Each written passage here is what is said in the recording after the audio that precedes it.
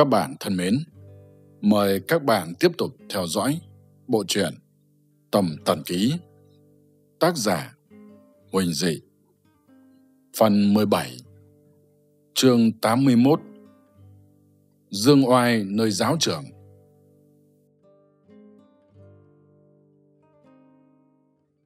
Ngôn phục vừa sở ra kiếm ấy, mọi người đã biết y lợi hại. Dù tốc độ hay góc độ, thủ pháp hay bộ pháp xem ra rất đơn giản, nhưng lại giống như du long xuất hải, không hổ là một kiếm thủ nổi danh.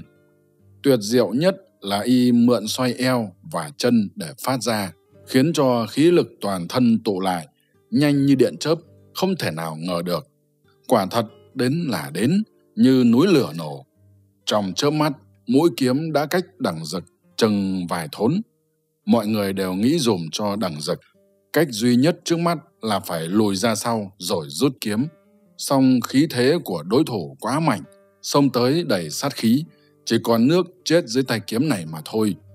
Ngược lại, dù thế nào đi nữa, đằng giật đã vì kiêu ngạo mà không rút kiếm ra trước nên mất tiên cơ. Chỉ thấy khóe miệng đằng giật thoáng nở nụ cười, rút kiếm ra thật nhanh nhưng không lùi về sau. Mọi người đều than thầm. Quách Tú Nhi và Triệu Nhã sợ đến nỗi nhắm mắt, không dám nhìn cảnh thiết đại hán ấy máu đổ đầy đất. Keng, khi mọi người đang chố mắt, đốc kiếm đằng giật rút ra khỏi bao chỉ được hai thốn, chạm phải mũi kiếm của Phục Ngôn. Dù sức của Phục Ngôn mạnh hơn đằng giật, nhưng mũi kiếm làm sao so được với lực đạo của đốc kiếm.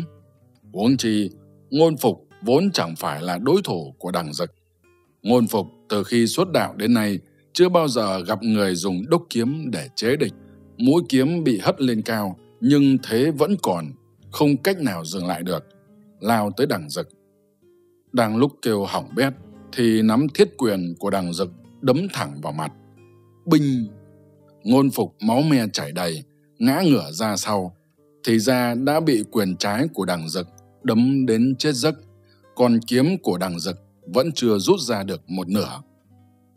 Keng một tiếng, thanh kiếm lại trượt vào bao. Toàn trường im lặng, trong chốc lát, bọn võ sĩ của hành quán mới gieo họ vang trời, vì đằng dực đã dùng tuyệt nghệ của mình để giúp họ hạ giận. Lý viên không ngờ đằng dực lợi hại đến thế, mặt đanh lại, quát lớn, khiêng tên vô dụng ấy đi. Lời này vừa nói ra, kẻ ngồi bên cạnh y là Triệu Nhã, cũng nhíu mày, cảm thấy gã lý viên này quả là bạc bẽo vô tình, không hề thông cảm khi thủ hạ của mình thất bại. Ngôn phục được đưa ra khỏi sân. Đằng dực chỉ vào lâu vô tâm, quát lớn. Đến lượt các hạ. Mọi người đều nhìn về phía lâu vô tâm, xem thử y có gan ra ứng chiến hay không. Hạng thu Long là người duy nhất biết được kết quả. Đằng dực từ khi được gã truyền cho phần cuối của mặc tử kiếm pháp thì kiếm thuật hay võ thuật đều tăng thêm một bậc. Ngay cả bản thân cũng không nắm chắc là có thể thắng được y hay không, huống hồ chi là ngôn phục. Lúc này cười lớn nói, Lâu huynh nếu không nghỉ ngơi đủ thì có thể nhường cho Đông huynh hoặc kẻ khác ra ứng chiến. Lời ấy vừa nói ra, Lâu vô tâm không thể nào chối từ được, đứng phát dậy, lạnh lùng hừ một tiếng, bước vào sân. Toàn trường lập tức im lặng, kỷ yên nhiên rỉ tai hạng thiếu long. Thiêm chưa bao giờ thấy được loại kiếm pháp nào kỳ dị hơn của nhị huynh, e rằng so với Lý Viên không hề thua kém. Triệu mục lòng hoa nở rộ, thầm nghĩ, chả trách nào tên mã si này lớn tiếng mà không thẹn, té ra trong tay có một kiếm thủ, một địch được trăm này. Lâu vô tâm rút trường kiếm ra, bày ra thế, nhưng không tấn công trước, Trước tiên dò xét lộ kiếm và thủ pháp của đối phương. Đang dực ngửa mặt cười lớn, tay phải đặt lên đốc kiếm, bước về phía trước một bước, làm ra vẻ rút kiếm. Lô vô tâm có ý khiếp sợ, lùi ra sau một bước, giữa hai người vẫn giữ khoảng cách bảy tám bước. Đằng dực dê về phía trước, nhanh như điện chớp, đâm thẳng vào bên trái của lâu vô tâm. Trường kiếm thoát ra khỏi bao, vẽ nên vô số những bông hoa tựa như công mà không công. giống như độc xà đang thẻ lưỡi, có thể mổ kẻ địch bất cứ lúc nào, quả là một sát chiêu không thể nào phá giải nổi. Hạng Thiếu Long vỗ đùi khen hay, chiêu ấy của đằng dực là lấy thổ làm công, quả thật là xuất thần nhập hóa, đã triển khai được hết cái hay của mặc tử kiếm pháp. Lâu vô tâm hoàn toàn không thể thấy được kiếm mộ của đối phương, tuy cũng quát tháo cho ra vẻ, nhưng lại lùi thêm một bước nữa, ai cũng có thể thấy vẻ khiếp sợ của y. Cao thủ đối địch nào chịu thoái lui, đằng dực thốt nhiên kiếm thế mạnh lên, chuyển từ lấy thổ làm công, thành lấy công làm thổ, trường kiếm mạnh hơn như cầu vòng, cộng với bộ pháp kỳ lạ, tấn công về phía bên trái của lâu vô tâm. Keng một tiếng, lâu vô tâm gắng gượng đỡ mũi kiếm của đằng dực. Đằng dực cười lạnh lùng, nói Chẳng qua là như thế. Thanh trường kiếm trượt ra, vội chuyển thành quét ngang. Keng, lâu vô tâm lúng túng đỡ thêm một kiếm nữa, lại bị đằng dực quét ngang ra, hoàn toàn không có sức để trả đũa. Bọn người bên phía Lý Viên đều biến sắc, phải biết rằng trong bọn chúng, lâu vô tâm thuộc hàng đệ nhất, nào ngờ không thể nào địch lại tên Long Thiện này. Lúc này mọi người đều biết rằng đằng dực đang áp đảo đối phương về mặt lực đạo. Triệu bá nhìn mà lòng hoa nở rộ, nhưng trong lòng cũng thầm sợ. Y trước giờ vẫn tự phụ, sức khỏe hơn người, thấy uy thế của đằng dực thì mới biết núi cao hơn núi. Nhạc thừa ngồi phía sau, ghé lên nói. Gia tướng của tiên sinh thật thần lực ghê người, e rằng cũng bằng ngao ngụy mâu. Hạng Thiếu Long cười thầm.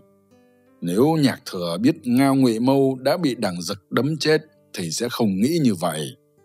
Lịch sử lặp lại, vừa lúc nãy phục kiện dần bị lâu vô tâm ra tay nặng nề áp đảo hoàn toàn, không có sức chống trả cho đến khi thất bại.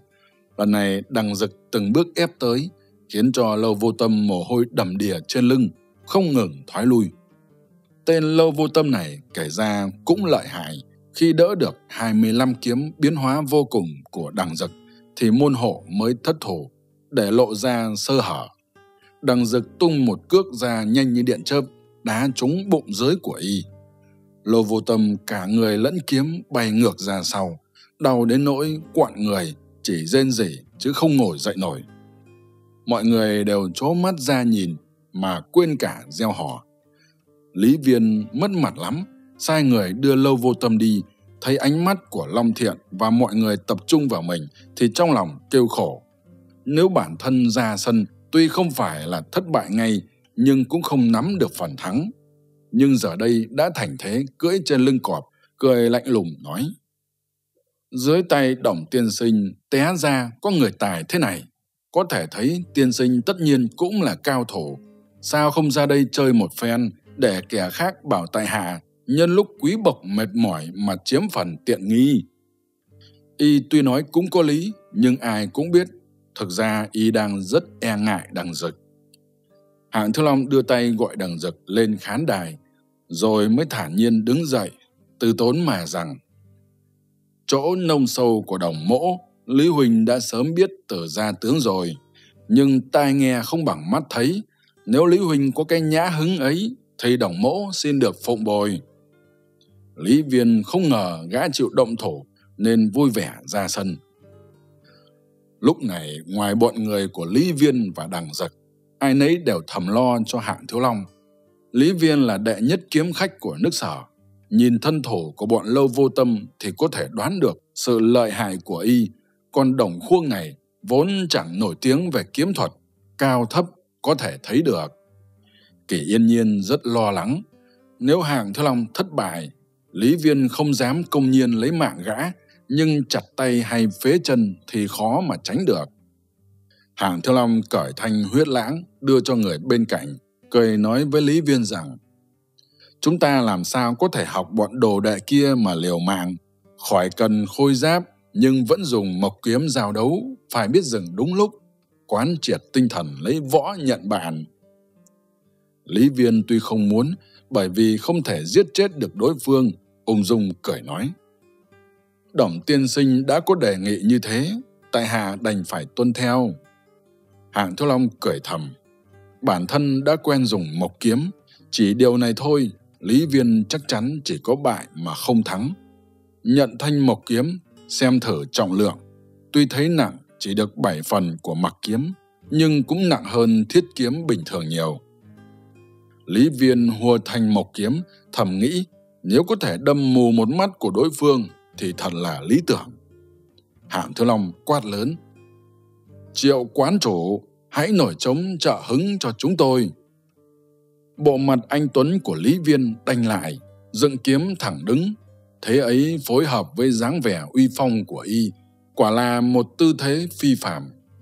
Hạng Thiếu Long chống kiếm phía trước người, vững như núi, hai mắt sắc như mắt chim ưng, nhìn thẳng vào đối thủ. Hai người đứng hướng vào nhau, thể hiện rõ phong thái của cao thủ. Ai nấy đều chịu ảnh hưởng của cái không khí căng thẳng trước khi gió bão nổi lên, nhất thời im lặng. Sau hơn nửa năm tập trung luyện kiếm, hạng thiếu long đã từ tư thái khí thế bừng bừng trở nên khí định thần nhàn. Ngay cả bọn triệu mục tuy nhiều lần thấy gã động thổ nhưng không thể từ động tĩnh của gã mà nghĩ đến hạng thiếu long lúc trước nữa. Kỳ yên nhiên là một đại hành gia trong nghề dùng kiếm, chỉ thấy hạng thiếu long đứng thảnh thơi nhưng cũng có khí độ hùng dũng, trong lòng kinh ngạc, thầm nghĩ lẽ nào lần trước giao thổ với mình chàng đã chưa ra hết sức. Nào biết hạng Thứ long vì có được phần cuối của mặc tử kiếm pháp nên tài nghệ mới tăng tiến nhiều như bây giờ. Triệu Chi lúc này trong mắt chỉ có đồng ma si, khí khái anh hùng tự nhiên ấy. Dù cho Lý Viên có ngoại hình đẹp đẽ hơn gã, nhưng vẫn còn kém hơn. Triệu Nhã nhìn Lý Viên rồi lại nhìn Hạng Thiếu Long, chỉ cảm thấy hai bên đều có sức hấp dẫn đối với mình. Nhưng vẻ bí hiểm và khí khái của Hạng Thiếu Long không giống như cảm giác mà Lý Viên đem đến cho ả.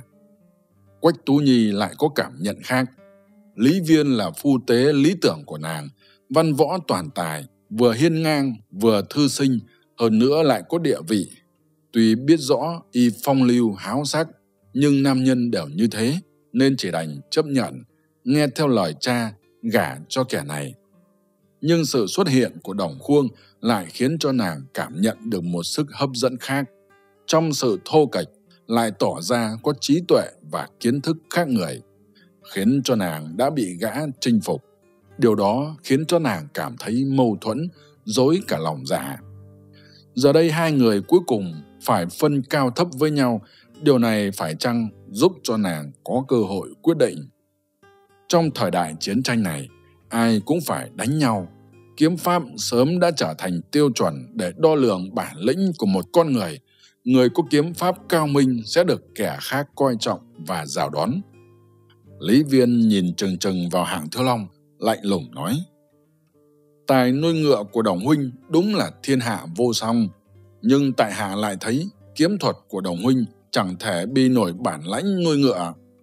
Rồi dùn người xuống xuất thế, thành một kiếm chĩa về hạng thiếu long, không ngừng ngoái động. Những kẻ bàng quang đều đổ mồ hôi hột cho hạng thiếu long. Không ngờ kiếm pháp của Lý Viên cao minh đến thế có thể truyền khí qua mộc kiếm tạo ra sự biến hóa vi diệu. Người ta không thể nào nhìn thấy được góc độ mà y xuất kiếm. Hạng Thiếu Long vẫn chống kiếm dưới đất, miệng nở một nụ cười bí hiểm, lạnh lùng trả lời. Vậy Lý Huynh còn đợi gì nữa? Lời nói của gã đầy vẻ tự tin khiến ai cũng cảm thấy rõ ràng gã không hề khiếp sợ.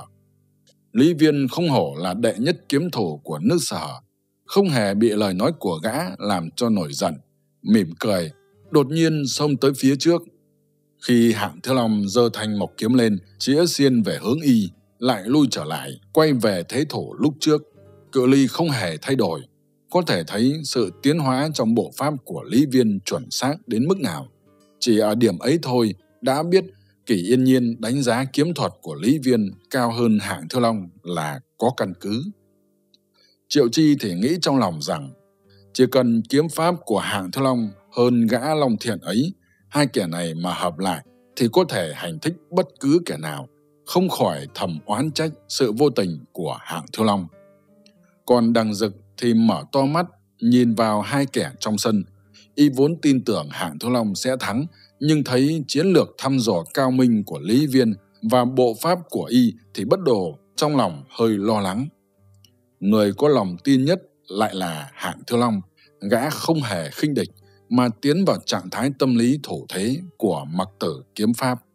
Không còn người không còn ta nhưng ý đồ của địch thủ thì không hề lọt ra khỏi sự quan sát của gã gã biết lý viên đang dụ mình tấn công nhưng gã không hề hành động nếu cả hai bên đều không ra tay thì kẻ bẽ mặt chẳng phải là gã tên mã si mà là lý viên kẻ đã buông lời kiêu ngạo khi còn trong quân đội ở thế kỷ 21, gã được huấn luyện về chiến đấu bằng tâm lý. Giờ đây, gã đang thực hành những bài học ấy. Gã đã nắm được nhược điểm trong tính cách của Lý Viên. Sau khi Lý Viên đứng yên một hồi, thì quả nhiên không nhẫn nại nữa. Lạnh lùng quan một tiếng, kiếm giơ lên cao quá đầu, sải bước lao về phía trước. Khi thanh kiếm chém về phía hạng thiếu long, tay trái nắm đốc kiếm, Vậy là cả hai tay đều cầm kiếm, nên lực đạo tăng lên nhiều lần. Tuy là người căm ghét Lý Viên, đối với chiều bất ngờ này của y cũng phải khen hay. Và lại khi sử kiếm này, y đã dùng sức lực của toàn thân tụ vào nhát kiếm ấy. Nếu hạng thư long chỉ dùng một tay cầm kiếm mà đỡ, thì có thể một chiêu đã biết ai thắng ai bại, ai yếu ai mạnh. Hạng thư long vẫn giữ dáng vẻ bình tĩnh như mặt hồ, chỉ thấy hai mắt nhướng lên lật cổ tay, rồi dùng một tay kiếm đỡ kiếm này của Lý Viên. Kỳ yên nhiên hoảng sợ, đưa tay che miệng. Nàng đã lần lượt giao thổ với hai người này, tự nhiên biết rõ sức lực của hai người. Nhưng giờ đây, Lý Viên lại dùng hai tay sở kiếm, thêm nữa lại chiếm thế chủ động xông tới trước, cho nên không nói cũng biết rõ cao thấp. Thà ôi, hạng Thư Long làm sao khở khạo đến thế? mọi người có mặt chỉ nghe tiếng xé gió của nhát kiếm ấy cũng biết lực đạo của đối phương dũng mãnh đến mức nào đều có cảm giác không muốn nhìn thấy kết quả lý viên thấy hạng Thông long một tay cầm kiếm đỡ lên thì trong lòng mừng thầm dùng toàn lực chém tới nào ngờ thanh mộc kiếm của đối phương từ đỡ ngang thì biến thành hất xéo ra chém mạnh vào thân kiếm của đối phương đòn đỡ đã trở thành đòn mượn lực để phá giải kiếm của đối phương. Nhất kiếm tuyệt vời của Lý Viên bị hạng Thương Long chém ra, trượt qua một bên, chỉ có thể chém vào khoảng không bên vai trái của hạng Thương Long. Tiếng hò reo vang trời, ngay cả hai mỹ nữ vốn oán hận hạng Thứ Long là Triệu Nhã và Triệu Chi đều quên bẵng đi cảm giác oán hận đó mà vỗ tay. May mà lúc ấy Lý Viên không thể phân tâm, nếu không sẽ chết vì tức mất. Ai nấy đều tưởng rằng hạng thứ long sẽ thừa thế xông lên giành quyền chủ động. Nào ngờ gã lùi về sau một bước thanh mộc kiếm múa tít trước người lúc ẩn lúc hiện phiêu du vô định với kiếm pháp và nhãn quang của lý viên cũng không nhận ra đâu là hư, đâu là thật. Chỉ đành lùi ra sau, giữ kín trước mặt, nhưng khí thế không còn như trước nữa. Đằng dực lúc này mới yên tâm, biết hạng thơ long đã nhắm vào thái độ khoe mẽ của lý viên trước mặt kỷ yên nhiên, cố ý làm cho y bẽ mặt, khiến cho y nổi nóng, gây ra điểm thất lợi.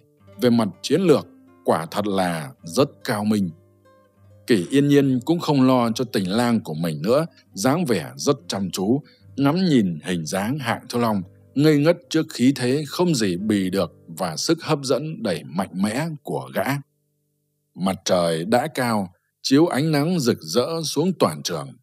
Còn có một kẻ không thể nào ngăn được tình yêu với hạng thu long, đó chính là Long Dương Quân. Lần đầu tiên gặp kẻ thô kệch này đã động lòng đối với gã, nhưng khi tận mắt thấy kiếm pháp tuyệt luân của gã thì lại càng điên đảo hơn, trong lòng hạ quyết tâm làm thế nào cũng phải bắt xác hạ thiếu long.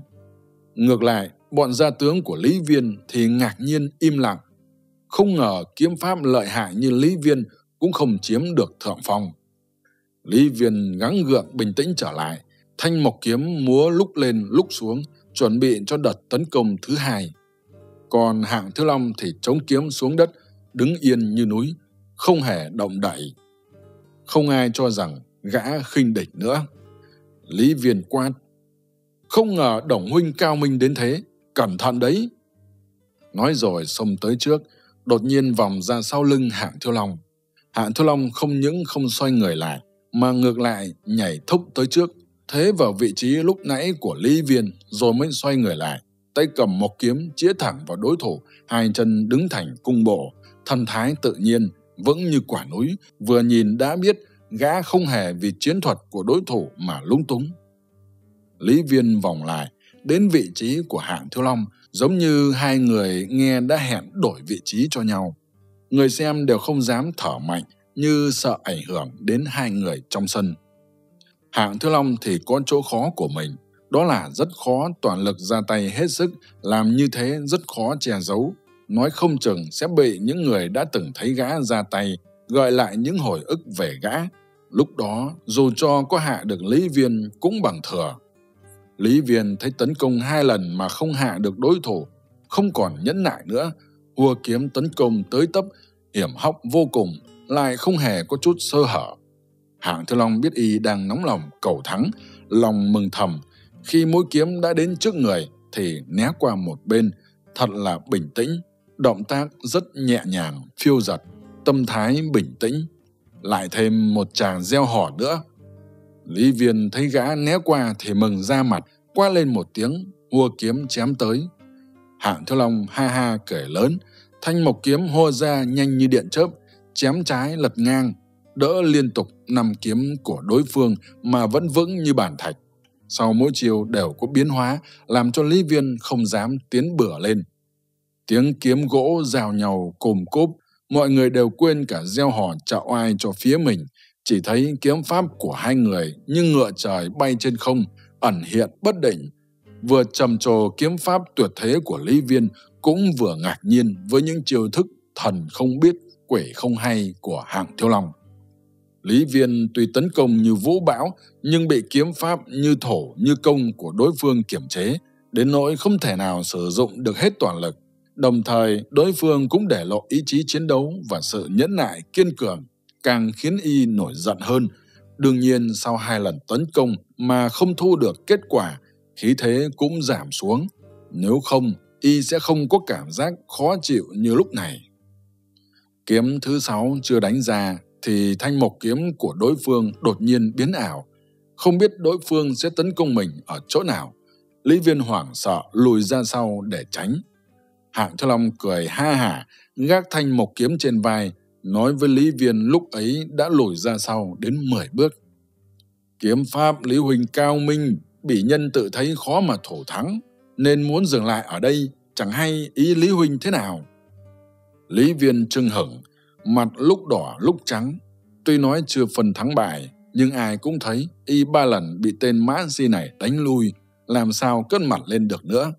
Nhưng nếu tiếp tục đánh nhau nữa, một là mất đi phong độ, nhưng điều đáng sợ hơn là đã mất lòng tin, ý chí chiến đấu cũng không còn. Lý Viên nấn ná một hồi chưa quyết định, thì Quách Khai đã lo hạng Thu Long làm Lý Viên bị thương, nên đứng dậy mà rằng Trận này không thể phân thắng bại, Hôm nay chúng tôi quả thật đã được mở rộng tầm mắt. Lý viên trong lòng tức tối lắm, nhưng mặt vẫn nở nụ cười.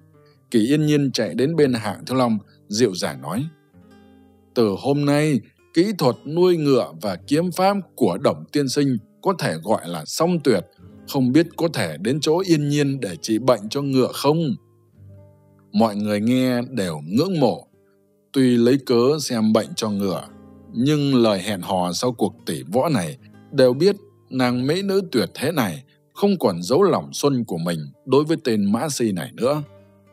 Ba thiếu nữ cùng lúc chạy đến bên hạng thư long chúc mừng thì bị kỷ yên nhiên đi trước một bước đều tiêu nghỉu mà rút lui. Lý Viên là kẻ khó chịu nhất, vốn tưởng rằng hôm nay có thể dương oai ở chốn võ trường, nào ngờ hai thủ hạ đắc lực thì bị trọng thương, còn mình thì thắng không nổi, lâm vào thế cuộc chẳng còn mặt mũi nữa. Nhưng sự đả kích lớn nhất là kỷ yên nhiên hẹn hò với kẻ thù của mình trước mũi, lòng tức tối lắm, vội vàng dẫn bọn thủ hạ bỏ đi mất. Triệu bá vui lắm, kéo Thiếu Long và Đằng Dực lại nói. Dù thế nào đi nữa, tại hạ cũng mời hai vị làm khách tịch giáo tọa của bổn quán, xin đừng từ chối. Nếu Đồng Tiên Sinh và Long Huynh đến sớm một năm, tên tiểu tử hạng thiếu long ấy đừng hỏng sống sót rời khỏi hàm đan. Triệu mục than, hạng thiếu long và đằng dực ngó nhau mà trong bụng cười thầm. Sau một hồi bị vây để trúc tụng, hạng thiếu long cuối cùng cũng thoát thân ra được, đi theo kỷ yên nhiên trong ánh mắt ghen tị của mọi người.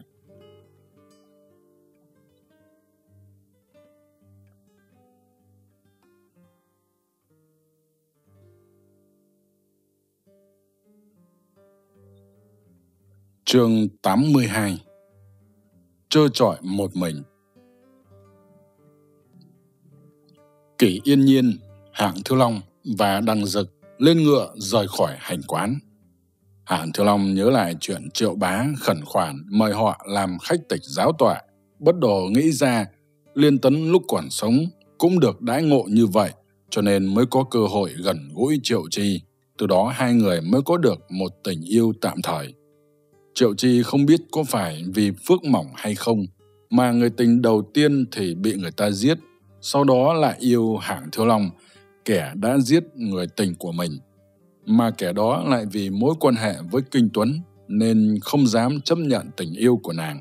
Nhưng nếu vì thế mà khiến cho nàng giận mà ngả vào lòng Lý Viên thì lại là một chuyện khiến người ta lo ngại hơn. Lý Viên chẳng phải là kẻ biết thương hoa tiếc ngọc, kẻ này rất ích kỷ. Về đến khu trung tâm náo nhiệt của thành Hàm Đan, đằng dực nói, ta phải đến tảng quân cốc để thăm bọn chúng, đêm nay có thể về không kịp. Hạng Thiếu Long gật đầu, thuận miệng hỏi, đã phái người về gặp lão tía chưa? Lão tía chính là bí danh của lã bất vi. Đã đi hôm kia rồi, đằng dực trả lời, rồi cáo từ kỷ yên nhiên phóng ngựa ra cửa thành. Bọn họ đã được phát lệnh thông hành, có thể ra vào thành bất cứ lúc nào mà chẳng sao cả. Kỳ yên nhiên vui vẻ lắm, thỏ thẻ nói. Người ta muốn cùng chàng dạo phố Hàm Đan, ý chàng thế nào? Hạng Thư Long vui vẻ chấp nhận trước khi đưa ngựa về phủ, rồi cả hai mới sánh vai bước ra. Đi được một lúc thì Kỳ Yên Nhiên cảm thấy lúng túng, người trên đường phố đều trầm trồ, khiến nàng không tự nhiên, nàng phải kéo hạng Thư Long về chỗ ở của mình. Lưu Hoa Sinh và Châu Diễn hóa ra đã quen biết nhau hơn 30 năm. Đối đãi kỷ yên nhiên như con gái, mọi người đều cười nói vui vẻ. Châu Diễn thì vẫn chưa có cơ hội gặp lại hạng Thiếu Long. Nhờ kỷ yên nhiên thay mình đánh cờ, rồi cùng hạng Thiếu Long ra hậu viên, than rằng từ ngày Bình Vương rời sang phía đông, cục diện quần long vô thổ đã kéo dài hơn 500 năm, binh lửa liên miên, kẻ chịu khổ vẫn là trăm họ, may mà xuất hiện tân thánh nhân như công tử. Hạng Thiếu Long giờ đây không dám nói bừa với vị trí giả đã đưa ra học thuyết ngũ đức thủy chung này, bởi vì quả thật nếu không có Hạng Thiếu Long thì không hề có Tần Thủy Hoàng, kẻ đã thống nhất sáu nước, nhưng thực ra cũng không biết đối đáp thế nào nên đành im lặng. Châu Diễn đưa mắt nhìn xa xăm, nói Ta biết Thiếu Long là người theo đuổi hòa bình, nhưng muốn có được hòa bình thật sự thì chỉ có thể dùng chiến tranh để đạt đến mục tiêu này. Ngoài điều này thì chẳng có con đường nào khác.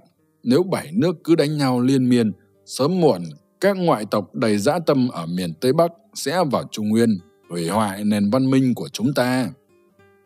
Hạng Thiếu Long giật mình, những lời của Châu Diễn khiến gã bừng tỉnh, nghĩ đến những vấn đề mà trước kia chưa từng nghĩ ra. Từ trước đến nay, gã luôn có ý tránh tham gia vào những cuộc chiến tranh, nhưng chưa bao giờ nghĩ đến vấn đề đau dài thì chẳng bằng đau ngắn, dùng chiến tranh để mang lại hòa bình. Điều đó là xuất phát từ tâm lý của một người thuộc thế giới khác. Nhưng vấn đề là trên thực tế, hiện nay gã đã trở thành một phần tử của thời đại này, tất nhiên nên gánh vác lấy trách nhiệm của thời đại. Dù nước Tần không xuất binh, sáu nước kia cũng chưa chắc tha cho người Tần, bởi vì đây là thời đại mạnh được yếu thua. Nếu cứ chiến tranh kéo dài liên miên, thậm chí có thể tạo cơ hội cho ngoại tộc xâm lăng, chi bằng lợi dụng thế mạnh của người Tần sớm thống nhất thiên hạ. Nếu gã lĩnh binh chinh chiến, chí ít cũng giảm đi số thương vong đến mức thấp nhất. nỗi khổ mà người dân phải gánh chịu cũng giảm đi nhiều hơn. Nghĩ tới đây, trong lòng có chút thay đổi. Châu Diễn ngưng thần nhìn gã một chốc rồi mỉm cười hỏi. Trong trời đất thiên biến vạn hóa, Thủy Trung không tách rời khỏi sự vận động của ngũ hành, kim mộc, thủy, hỏa, thổ, lần lượt thay thế cho nhau. Trời là ngũ hành, người cũng là ngũ hành, bề ngoài thì thiên biến vạn hóa, nhưng cốt lõi vẫn là một sự vật. Vì thế, trời người giao cảm, mỗi khi có một lực lượng mới nổi lên, hai đức giao nhau sẽ thấy các dấu hiệu. Nơi dấu hiệu tồn tại chính là nơi mà chủ nhân của thời đại mới tồn tại. Cũng giống như thời Châu Văn Vương, cũng có loài chim ngậm chu thư rơi xuống châu xá, mở ra quá trình xây dựng nghiệp bá của nhà Châu. Đó chính là những dấu hiệu tốt lành của thời đại. Hạng Thư Long nhịn không được hỏi. Giờ đây lại có dấu hiệu gì xuất hiện? Châu Diễn vui vẻ nói. Có nhớ Lão Phu đã từng nhắc với công tử về sự xuất hiện của một ngôi sao mới hay chăng? Nửa năm trước, Thiếu Long rời triệu đến tần, ngôi sao ấy lập tức biến mất. Khi Lão Phu không hiểu, vị trí nước tần trên thiên đồ lại xuất hiện một ngôi sao mới, sáng rực cả bầu trời đêm. Giờ đây Lão Phu đã khẳng định người thống nhất thiên hạ là người tần và lại có quan hệ trực tiếp với Thiếu Long nữa. Hạng Thiếu Long ngạc nhiên, không nói được gì, càng lúc càng không dám coi thường nhà thiên văn học cổ đại này nữa. Châu Diễn vỗ vài gã, nói Vì phước của muôn dân thiên hạ, Thiếu Long cần phải giúp người Tần làm nên bá nghiệp. Nếu không, nói không chừng, ngôi sao ấy lại mở đi. Đừng để ý kẻ khác xem mình thế nào. Chỉ cần nắm chặt lấy lý tưởng, cố gắng hết sức mà làm. Như thế mới không phụ lòng của trời cao đối với công tử chuyện thống nhất thiên hạ, phải nhờ vào công tử, lão phu chắc một lời như vậy. Hảo thiên long trong lòng cũng kích động lắm. Đến lúc này mới biết tấm lòng của châu diễn thật bao la, chứa đầy nhiệt tình. Tư tưởng của ông là nhắm vào tình hình thực tế, chứ không giống như khổng mạnh. Suốt ngày cứ ra giả nhân nghĩa, đạo đức mà sự thực hùng hồn đã chứng minh được, nước lỗ cuối cùng cũng mất trong thời đại chiến tranh này, chỉ có thể dùng võ để ngăn võ mà thôi. Châu Diễn nói, Yên nhiên trước này vẫn có ý nghĩ ấy, hy vọng có thể phò trợ minh chủ thống nhất thiên hà đạt đến mục tiêu dập tắt chiến tranh. Hạng Thiên Long cười khổ trong lòng, con đường đạt đến mục tiêu này rất dài và gian khổ, nhưng không có đại tần, cũng không thể trực tiếp nhảy đến cục diện lưỡng hán thăng bình càng không thể có sự xuất hiện của một nước Trung Quốc lớn mạnh ở thế kỷ 21. Nghĩ tới đây thì gã hạ quyết tâm bỏ đi ý nghĩ chỉ giành lấy sự an nhàn cho mình, xem có thể giúp được tiểu bản hay không. Đồng thời cũng thầm thở dài, đối với một kẻ coi chiến tranh là tội ác như gã mà muốn trong chốc lát sẽ thay đổi tư tưởng, quả thật chẳng dễ dàng. Lúc này Kỳ Yên Nhiên và Lưu Hoa Sinh bước ra, Thắng thua thế nào? Châu Diễn cười hỏi. Kỳ Yên Nhiên nói, Lưu Đại Thúc thấy Yên Nhiên không muốn đánh nữa, nên đã tha cho người ta. Mọi người đều cười. Lưu Hoa Sinh ấy không biết kẻ này là Hạng Thư Long, chỉ xem gã là Mã Si Đồng Khuông. Cười nói hai câu thì cùng Châu Diễn quay về, tiếp tục tranh bá trên bàn cờ. Kỳ Yên Nhiên thì vui mừng kéo Hạng Thư Long vào tòa tiểu lâu của nàng. Hai nô tỳ mở cửa nghênh tiếp.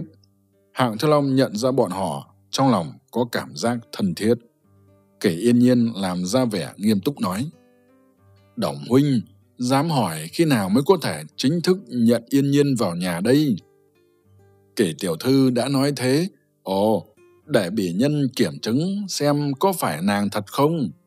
Hạng Thiếu Long cười trả lời, nói rồi đưa tay ôm ghì lấy nàng kể yên nhiên ngả vào lòng gã, thỏ thẻ nói. Người ta nói thật đấy, khi không gặp được chàng, chàng có biết người ta sẽ bị nỗi nhớ nhung dày vò hay không? Hạng Thiếu Long cảm thấy được tình yêu sâu sắc của nàng đối với mình, thở dài nói. Nếu tất cả mọi người đều biết ta đã có nàng, ta sẽ gặp nhiều khó khăn hơn. Lúc ấy mọi người đều chú ý đến chúng ta. Yên nhiên cũng mất đi địa vị và thân phận của mình đối với hành động lần này ở hàm đan của ta cũng bất lợi lắm. Kỷ yên nhiên mấy ngày hôm nay cõi lòng điên đảo, không hề để ý đến chuyện khác. Lúc này hạng thư long nhắc nhở mới tỉnh ra, gật đầu nói. Yên nhiên thật sơ suất, đã quên đi chàng đang ở chốn nguy hiểm. Người ta giờ đây đã hiểu. Hai người thương lượng, một lúc sau thì chia tay. Hạng Thiếu Long đi bộ về hành quán. Ô quả chặn gã lại ngoài cổng nói. Nhã phu nhân và chi cô nương đều chờ tam gia. Tiểu nhân sắp xếp họ chờ ở Đông Hiên và Tây Hiên. Hạng Thư Long vừa nghe đã lo lắng. Đang lúc chưa làm được việc gì mà nam nữ cứ vây lấy, không khỏi thở dài. Sau khi suy nghĩ thì quyết định đi gặp Triệu Chi trước. Lúc gã bước vào Tây Hiên, Triệu Chi đang ngồi lặng lẽ. Nghe tiếng bước chân thì cúi đầu xuống. Không biết là để tỏ ra đang giận dỗi hay là chỉ vì bị gã thấy Lý Viên chớt nhả mà e thẹn. Hạng Thư Long đến bên cạnh nàng, ngồi xuống mà nói. Chị cô nương không cần phải phụng bồi Lý Viên hay sao? Sắc mặt Triệu Chi tái nhợt, cắn môi rồi nói. Sư phụ sai Triệu Chi đến đây mời Đồng Tiên Sinh đến võ sĩ quán một chuyến. Hạng Thiếu Long trong lòng biết rõ nàng chỉ mượn cớ đến tìm mình. Còn Triệu Bá làm sao có thể sai nữ đồ đệ xinh đẹp này một mình đến hẹn hò với gã. Điều ấy chẳng hợp lễ tiết tí nào. Rồi thở dài nói. Hai ngày nữa được không? Giờ đây lòng dạ ta đang dối bời. Triệu Chi vẫn cúi đầu, giọng vẫn nhỏ nhẹ. Có chuyện gì lo lắng? Hôm nay ngài đã tỏ ra uy phong của mình, còn lọt vào mắt xanh của kỷ tài nữ nữa. Tiểu nữ tưởng ngài không về sớm như thế chứ.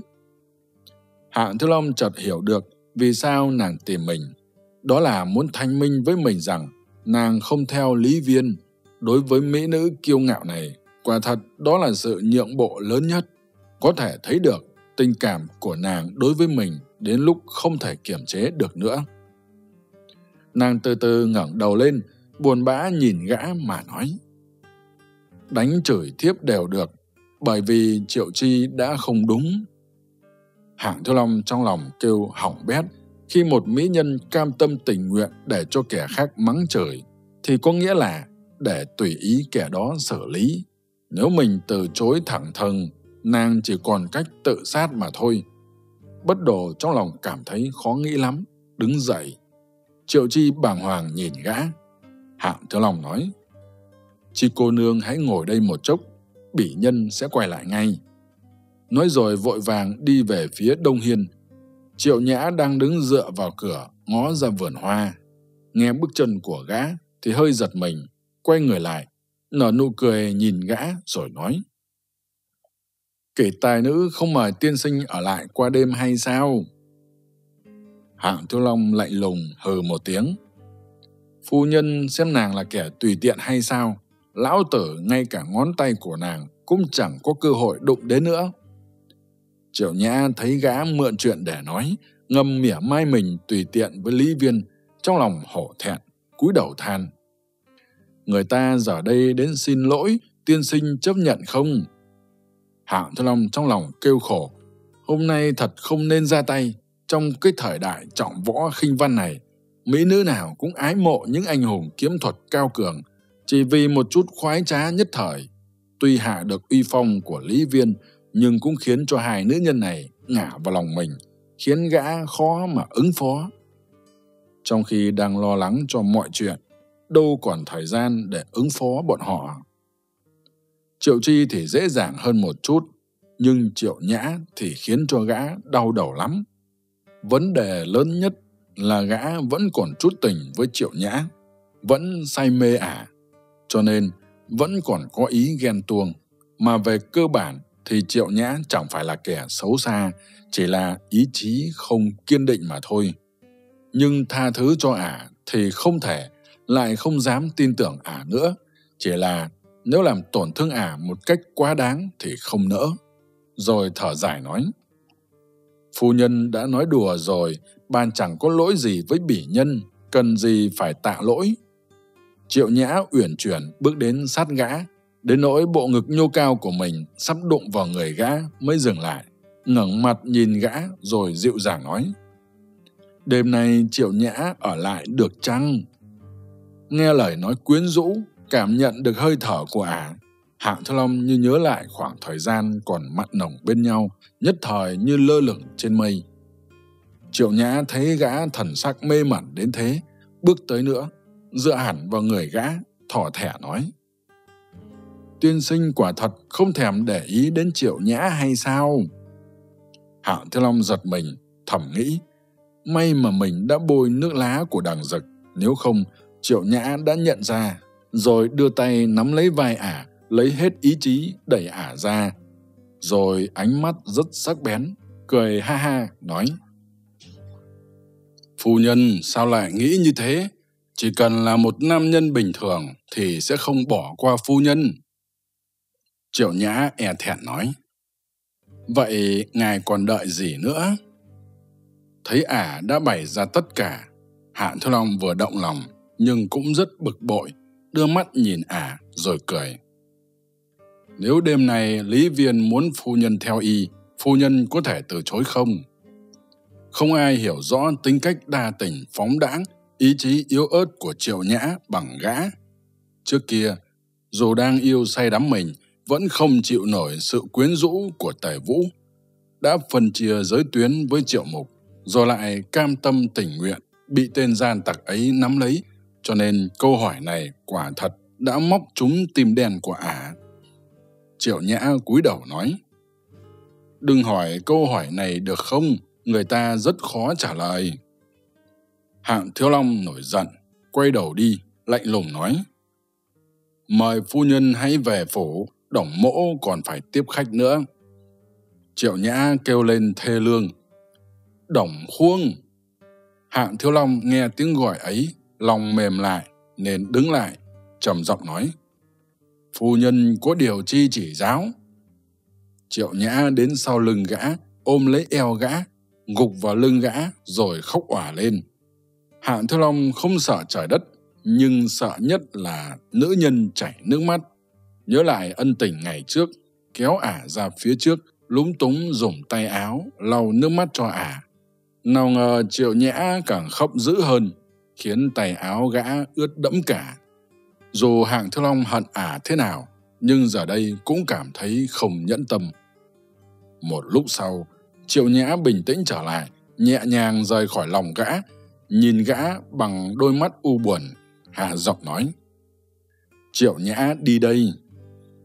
Hạng thiếu long cảm thấy ngạc nhiên, lờ mờ cảm thấy sự thất thường của ả là bởi vì nhớ lại hạng thiếu long nên không màng đến nam nhân khác nữa, nhất thời không biết làm thế nào. Gật đầu nói, để bỉ nhân đưa phu nhân ra cửa. Triệu Nhã lặng lẽ nói, tiên sinh không cần đa lễ. Rồi quay người vội vàng bỏ đi.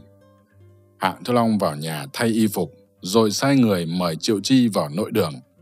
Triệu Chi hơi ngạc nhiên, chúc chúc nhìn lén gã. Hạng Thư Long trong lòng thầm nghĩ, nếu muốn chiếm hữu, nàng sẽ không từ chối.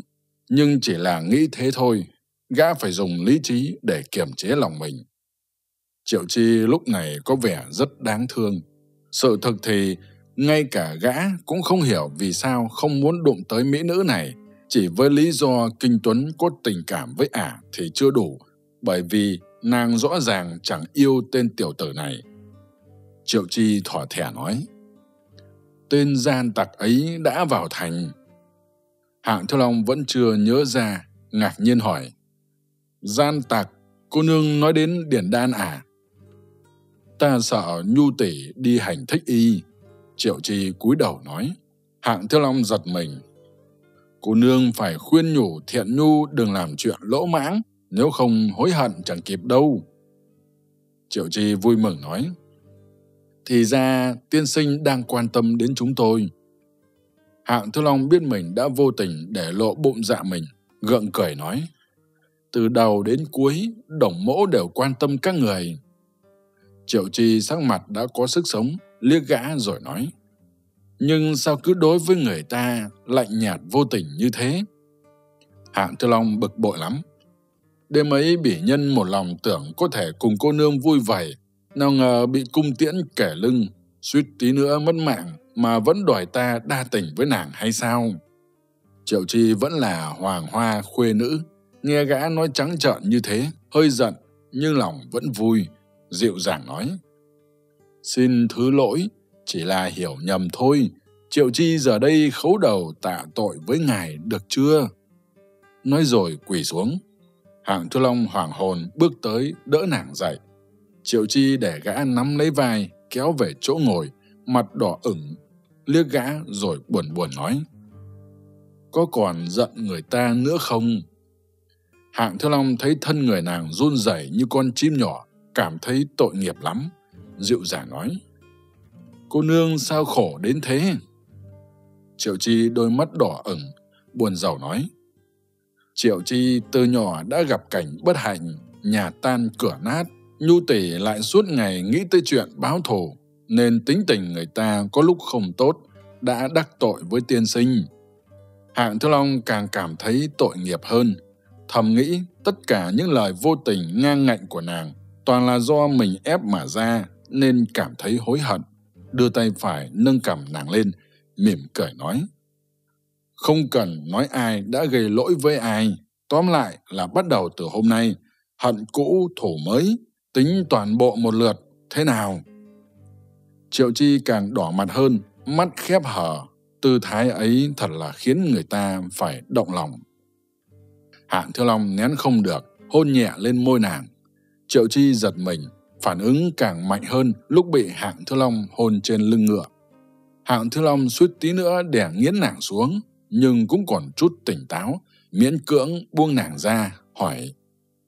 Điền Đan hiện giờ đang ở đâu? Theo y vào thành có bao nhiêu người? Triệu Chi nghe tên Điền Đan thì lạnh lùng nói.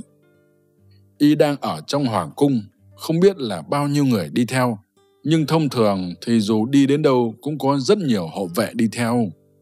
Lại nói, đêm nay Triệu Vương bày yến đãi tên gian tặc ấy, sứ tiết các nước đều được mời đến. Hạng Thiếu Long biết chẳng có phần mình, giờ đây Triệu Vương đang tỏ ra phải lấy lòng Lý Viên, nên cố ý lạnh nhạt với gã. Triệu Chi cúi đầu e thẹn nói, tiên sinh có thể khuyên Nhu Tỷ không? Tiểu nữ thấy Nhu Tỷ chắc sẽ nghe lời tiên sinh. Hạng Thiếu Long cảm thấy dù thế nào cũng không thể để thiện Nhu mạo hiểm hành thích điển đan, đứng dậy nói, Thôi được, chúng ta đi gặp tỷ tỷ của nàng. Hạng Thiếu Long và Triệu Chi thúc ngựa ra khỏi hành quán, thì từ xa vẫn nghe vọng lại. Đổng ra hãy dừng bước. Hai người ngạc nhiên ngó qua, thì ra đó là phố bố. Hạng Thiếu Long nhân lúc ấy nói với Triệu Chi.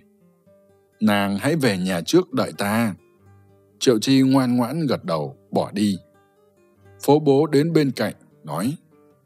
Hầu ra mời Đổng tiên sinh lập tức đến gặp. Hạng Thư Long gật đầu, đi theo y đến hầu phủ. Gã đã mấy lần định tiết lộ bí mật cho phố bố, nhưng cuối cùng đã kiểm lại. Nửa năm trước và nửa năm sau, lòng dạo con người nói không chừng đã thay đổi. Triệu Mục tiếp kiến Hạng Thiếu Long trong mật thất của hầu phủ. Tên gian tặc ấy thần sắc thất thường, nói Lý Yên Yên đã sinh được thái tử. Hạng Thiếu Long ngẩn ngơ một lát rồi mới hiểu ý, giật mình nói Không hay. Triệu Mục nắm tay thành quyền, nói Lần này thật đã để tên tiểu tặc ấy chiếm hết tiện nghi, y có thể công nhiên trở thành quốc cữu, còn cha ta thì lại lo lắng sở vương biết được thái tử chính là con trai của mình. Chỉ với điểm ấy thôi, cha đã lâm vào thế hạ phong. Huống chi, Lý Yên Yên đối với cha chỉ là lợi dụng mà không hề có chút tình nghĩa nào. Giờ đây đã trở thành vương hậu, muốn thao túng sở vương dễ như trở bàn tay. Lý Viên giờ đây ở nước sở có thể muốn mưa được mưa, muốn gió được gió. Hạng Thư Long nhớ lại tâm thuật và nhân cách của Lý Viên, hoảng hốt nói. Như thế quân thượng đã gặp nguy hiểm. Triệu Mục lo lắng nói. Ngươi đã nhìn ra được điều này, giờ đây tảng đá cản đường lớn nhất của Lý Viên là cha. Nếu ta là Lý Viên, người đầu tiên phải đối phó là Sở Vương. Đại vương thể chất trước nay không khỏe, chỉ cần Lý Yên Yên suốt ngày giày vò y thì đảm bảo y sẽ chịu không được bao lâu trừ được sở vương, Lý Yên Yên và Lý Viên có thể giành chính ngôn thuận nắm triều chính nước sở thông qua đứa tạp chủng ấy. Cha lại không có dạ phòng bị, tưởng rằng huynh muội bọn chúng vẫn là con cờ trong tay mình. Lúc ấy đôi cẩu huynh muội này muốn hại người thì như trở bàn tay. Hạng Thiếu Long lạnh lùng nói. Cách duy nhất là nhân lúc Lý Viên về nước, tiểu nhân sẽ giả làm mã tặc trừ khử y, như thế mọi chuyện sẽ êm thấm ngay. Triệu mục lộ vẻ âm hiểm, im lặng một lúc rồi cuối cùng mới thở dài. E rằng không dễ dàng như vậy, bản thân Lý Viên kiếm thuật cao cường, lần này lại mang theo gần 500 gia tướng, thực lực hùng hậu của y hơn ngươi nhiều lần, và lại giá trị của y đã tăng lên 10 lần, yếu Thành Vương sẽ sai quân đưa y về sở, người ngụy sẽ không sơ suất chuyện đón tiếp y, nếu như ngươi động thủ lỗ mãng thì có thể gặp điều bất lợi. Hàm Thư Long cười thầm trong bụng. Tên gian tặc nhà ngươi nói thế thì càng tốt, tránh cho lão tử được nhiều phiền toái. Triệu Mục tỏ ra rất lo lắng, thở dài một tiếng rồi nói. Ngươi có cách hay nào khác hay không? Để tiểu nhân về sở, nói rõ lợi hại với quân thượng để ngài phòng bị. Hạng Thư Long giả vờ nói. Triệu Mục không vui nói. Vậy chuyện ở đây ai làm cho ta? Và lại cha ta ngay cả con ruột mà không nghe, huống chi ngươi là người ngoài. Hạng Thư Long đã sớm biết y vốn là kẻ ích kỷ, không nghĩ đến tình thân cho nên không để cho gã ra đi. Nhưng tỏ ra vẻ thế này thì Triệu Mục càng tin tưởng gã hơn, trầm giọng nói. Vậy chúng ta phải mau mau hành động, nếu không có sự ủng hộ của quân thượng, hầu gia ngồi trên ngai vua thì cũng khiến cho các nước khác phải dự phần vào. Triệu mục xa sầm mặt, nhíu mày nói. Bồn hầu muốn ngươi phải điều tra rõ ràng cho ta một chuyện này. Hạng thưa lòng nói. Hầu gia xin hãy căn dặn. Triệu mục giàu dĩ nói. Nửa năm qua, Hiếu Thành Vương đã lạnh nhạt với ta, như gần đây mấy lần mật bàn với Lý Viên. Lại như hôm nay, tiếp kiến điển đan mà không cho ta tham dự. Trong đó quả thật đã có vấn đề. Hạng Thư Long cũng lấy làm lạ vì điều này. Chỉ là không hề suy nghĩ mà thôi. Thuận miệng nói. Phải chăng là vì Quách Khai đã nói ra nói vào? Triệu Mục nói. Quách Khai có là gì? Nào có đổ sức ly gián ta và Hiếu Thành Vương, kẻ ta hoài nghi là Triệu Nhã. Bởi vì ta đã làm hư chuyện tốt của ả với Hạng Thư Long, cho nên trước nay cứ ôm hận trong lòng. Chỉ là không ngờ ả đã nắm được bí mật gì đó, khiến cho Hiếu Thành Vương tin tưởng ả. Hạng Thư Long toàn thân đổ mồ hôi, biết mình quá lo lắng nên đã quên đi một vấn đề quan trọng nhất. Chính là đã nói với Triệu Nhã rằng Triệu Mục chính là gián điệp do nước sở phái đến. Trong tình hình hiện nay, Triệu Nhã sẽ đem chuyện này báo cho Hiếu Thành Vương, khiến cho Hiếu Thành Vương nảy sinh lòng nghi ngờ, nên đã mua đứt Quách Khai để kẻ này đối phó trở lại Triệu Mục. Nói không chừng, ngay cả nhạc thừa cũng phản bội Triệu Mục. Nếu không, Hiếu Thành Vương làm sao yên tâm để nhạc thừa nắm quyền trong thành Hàm Đan. Chuyện vốn rất đơn giản, nhưng trong chốc lát bỗng trở nên phức tạp vô cùng. Một đại thần đã nắm quyền rất lâu trong triều như Triệu Mục, dù cho Triệu Vương muốn hạ y cũng không phải một sớm một chiều. Cần phải từng bước tước lấy quyền lực của y, không cho y tham gia bàn bạc việc cơ mật, ly gián những đại thần tướng lĩnh thân thích với y, nếu không sẽ gây ra tai họa. Nhất là từ khi có chuyện ô ra, nước triệu không thể chịu nổi một lần đả kích nữa. Hạng Thiêu Long tự nghĩ, nếu mình là Hiếu Thành Vương, cách tốt nhất là bỏ hết thành kiến, gọi Liêm Pha hoặc Lý Mục về Hàm Đan thì có thể nắm chắc được phần thắng. Nước Triệu nếu một ngày còn hai danh tướng ấy, ai muốn đối phó người Triệu e rằng phải bỏ ra cái giá rất đắt. Nhưng Lý Mục và Liêm Pha, một người thì phải đối phó với Hung Nô, một người còn phải giao tranh với người Yên, đều rất khó rút về. Nếu không, Triệu Mục đã sớm tiêu đời. Có thể một trong hai người quay về Hàm Đan, đó chính là lúc Hiếu Thành Vương đối phó với Triệu Mục. Còn bản thân mình thì sẽ rất nguy hiểm. Quách khai không hề dọa xuông. Triệu Mục là kẻ không nên gần gũi, nếu không sẽ vạ lây. Đó mới thật là oan uổng. Triệu Mục thấy dáng vẻ gã căng thẳng như vậy, nên tưởng gã đang chia sẻ với mình. Hạ giọng nói, ta xem Triệu Nhã động lòng xuân với ngươi, với tài trí của ngươi, nhất định có thể do hỏi được. Xem thử à rốt cuộc đã nắm được sơ hở gì của ta, nếu không thể sửa sai, chúng ta chỉ đành giết phăng tên hôn quân ấy, chỉ cần khống chế được hàm đan, thì có thể ung dung đối phó được Lý Mục và Liêm Pha. Hạng Thiếu Long giật mình, nghe lời tên gian tặc này, xem ra rất chắc chắn trong việc nắm vững triều chính, cho nên không hề vội vàng giành lấy ngai vàng. Trong lòng chợt nhớ đến tinh vương hầu. Triệu mục biết cách dùng thuốc, lại có thể tùy ý ra vào cung cấm. Nắm được người đàn bà ấy là điều hoàn toàn dễ dàng. Mụ và triệu mục cấu kết với nhau, cùng nắm triều chính, quả thật chẳng là chuyện khó. Nếu một khi chuyện xảy ra, ở Hàm Đan có bao nhiêu người sẽ đứng về phía hầu gia? Thừa cơ hỏi. Triệu mục do dự một lúc rồi nói. Người có thể thật sự giúp ta là nhạc thừa và mấy tướng lĩnh đại thần do ta nâng đỡ. May mà có người đến, lại thêm hai ngàn gia tướng của ta. Tấn công vào Hoàng Cung không phải là chuyện khó, nhưng đó chỉ là hạ sách.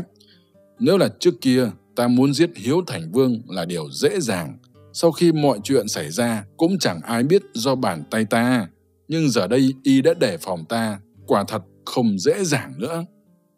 Rồi tỏ ra rất hưng phấn, nói Có lẽ giờ đây ngươi phải biết hạng Thứ Long là ai. Hạng Thứ Long giật mình gật đầu. Không biết y tại sao lại đột nhiên nhắc đến mình. Ta vừa nhận được mật báo đến từ nước Tần.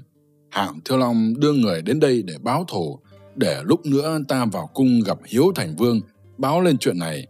Tên Hạng Thứ Long ấy thông minh đến đâu cũng không đoán được ta đã cài người ở Hàm Dương.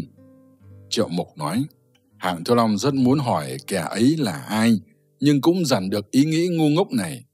Gã giả vờ hỏi, Hạng Thiếu Long có quan hệ gì đến chúng ta? Triệu Mục nói, có quan hệ lắm, nhưng ngươi và Long Thiện bề ngoài rất giống với Hạng Thiếu Long. Chỉ cần mang thanh mộc kiếm thì có thể giả mạo y mà hành thích Hiếu Thành Vương.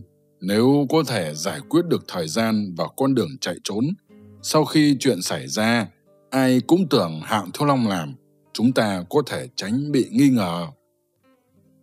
Hạng Thiếu Long thầm kêu nguy hiểm quá, nhưng vẫn vỗ án khen hay. Quân thượng nghĩ thật chu đáo, chỉ cần Hiếu Thành Vương rời khỏi Hoàng Cung để chúng ta biết được thời gian và địa điểm, bỉ nhân có thể làm rất sạch sẽ, đảm bảo không để lại dấu vết. Từ hôm nay trở đi, chúng ta nếu không có chuyện gì quan trọng thì cố gắng đừng gặp mặt. Ngươi phải cẩn thận lý viên. Giờ đây không những Hiếu Thành Vương nhìn gã bằng con mắt khác. Điền Đan biết y trở thành quốc cữu thì cũng né tránh ta mà gần gũi y. Ngươi chắc biết rõ Điền Đan, người này còn lợi hại hơn cả tín lăng quân nữa. Tuyệt đối không thể dây vào. Triệu Mục hớn hở nói. Hạng Tiêu Long lúc này quả thật phiền càng thêm phiền. Khi đi cướp lỗ công bí lục, gã đã sớm biết người sở và người tề trước nay cấu kết với nhau để chia rẽ tam tấn. Giờ đây, Lý Viên trở thành người có quyền lực nhất nước sở. Điền Đan sẽ vì lợi hại mà lôi kéo y. Điều này càng khiến cho mình nguy hiểm hơn. Nếu bị Lý Viên và Điền Đan cùng lúc đàn hạc mình trước mặt Hiếu Thành Vương, thì tính mạng của gã có thể mất bất cứ lúc nào cách nào có thể ứng phó được thế cuộc nguy hiểm này. Triệu mục sau khi dặn dò gã dò xét triệu nhã thì mới để gã quay về. Hạng Thiếu Long than thầm trong lòng, lần này không gần gũi với triệu nhã thì e rằng không xong. Tay mắt của triệu mục đầy dẫy ở hàm đan. Nếu biết gã chưa bao giờ tìm triệu nhã thì sẽ nghi ngờ trong lòng. Đồng thời lúc này cũng có một nỗi lo lắng khác trong lòng. Nếu Triệu Nhã để lộ chuyện trước kia mình trước khi rời Hàm Đan đã bắt được sứ nước sở đến liên lạc với Triệu Mục, truyền đến tai Triệu Mục, thì với sự tinh minh lợi hại của y, tất sẽ thấy mình rất có vấn đề. Lại nhớ đến Quách Khai, y đã từng nói đưa mình đi dạo quan kỹ, nhưng lại không thực hiện lời hứa. Có lẽ bởi vì Lý Viên đã trở thành khách quý, Hiếu Thành Vương đã thay đổi thái độ Quách khai là kẻ a dua nên đã tránh né mình. Trong khoảnh khắc, gã cảm thấy ưu thế của mình đã mất hết, trở thành một kẻ bơ vơ, bốn bề đều có địch bao vây, trơ trọi một mình.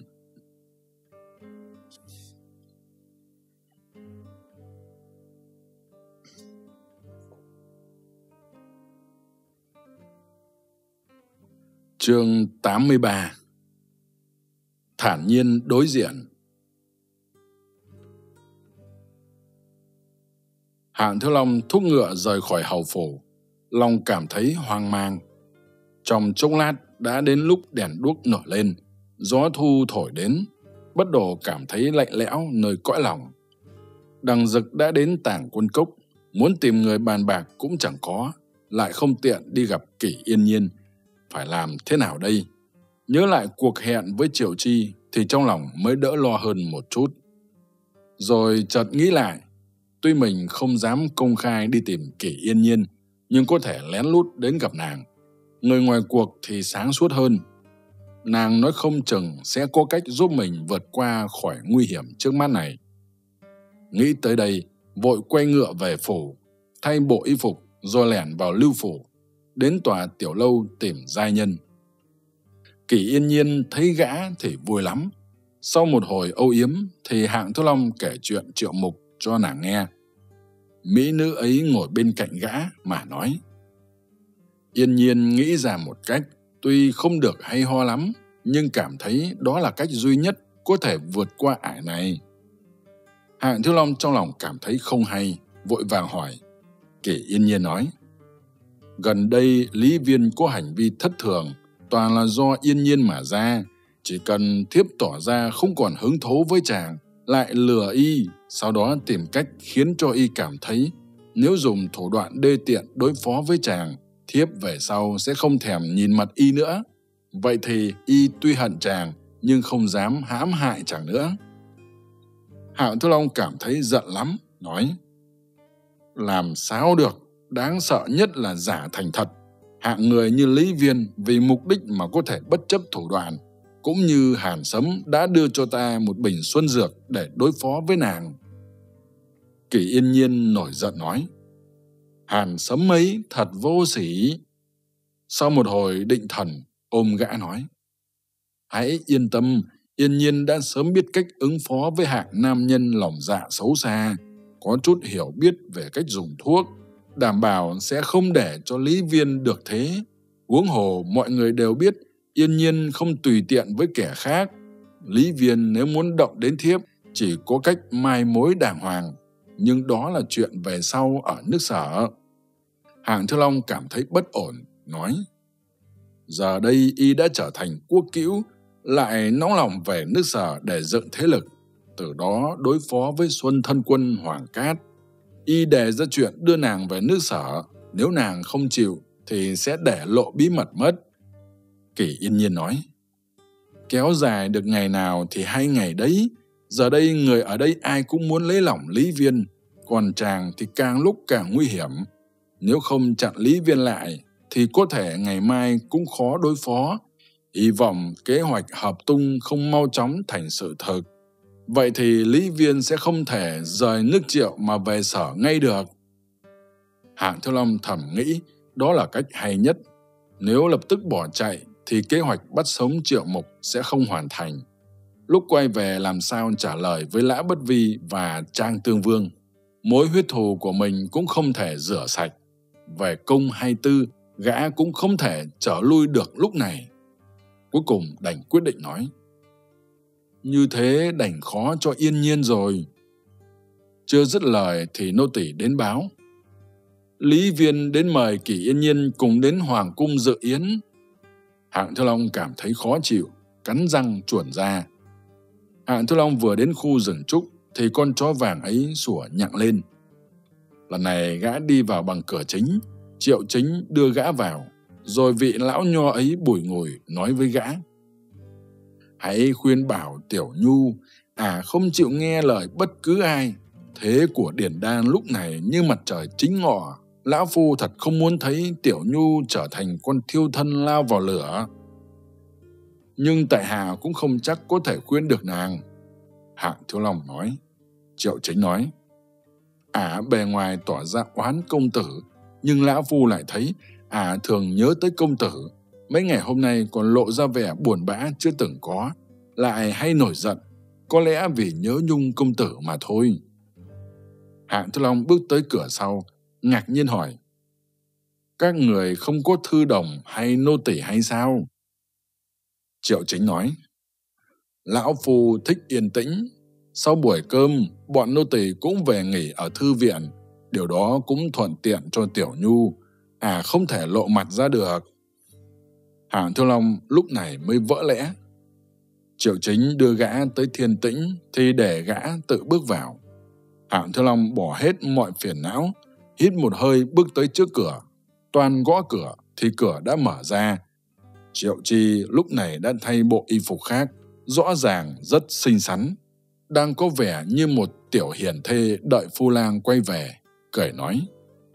Đổng ra, mời vào. Gã nén không được, nhìn nàng rồi mới bước vào trong sảnh đường của tòa tiểu lâu. Triệu Chi bị gã nhìn như vậy, không hề trách cứ, mà còn vui vẻ kéo tay gã chỉ lên lầu, nói. Tỷ tỷ ở trên, chàng lên gặp tỷ tỷ được chăng? Hạng Thư Long cố nén lại suy nghĩ sẽ thân mật với nàng trước, ngạc nhiên hỏi. Nàng không lên cùng ta sao? Triệu Chi nhoẻn miệng cười.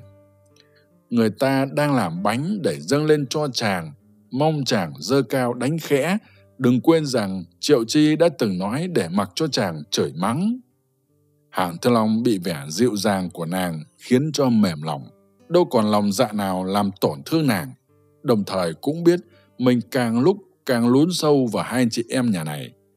Đã gọi là con người, đâu phải cỏ cây mà có thể vô tình. Cảnh ngộ của hai chị em thật khiến cho người ta tội nghiệp, chỉ là thói quen của nam nhân bảo vệ cho nữ nhân cũng đủ khiến gã thương yêu bọn họ. Hạng Thiếu Long đưa tay bẹo má Triệu Chi, rồi mới bước lên bậc thang. Triệu Chi thì đỏ mặt, quay ra tiếp tục công việc của mình. Gã đã đến tòa tiểu sảnh hôm trước gặp gỡ hai người, nhưng không nhìn thấy Thiện Nhu.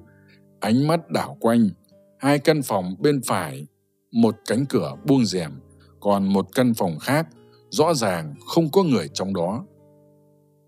Hạng Thiếu Long cố ý cởi giày, bước vào căn phòng đang buông rèm. Trong phòng vọng ra thanh âm lạnh lùng của Thiện Nhu. Ai? Hạng Thiếu Long trả lời. Là ta. Rồi vén rèm bước vào.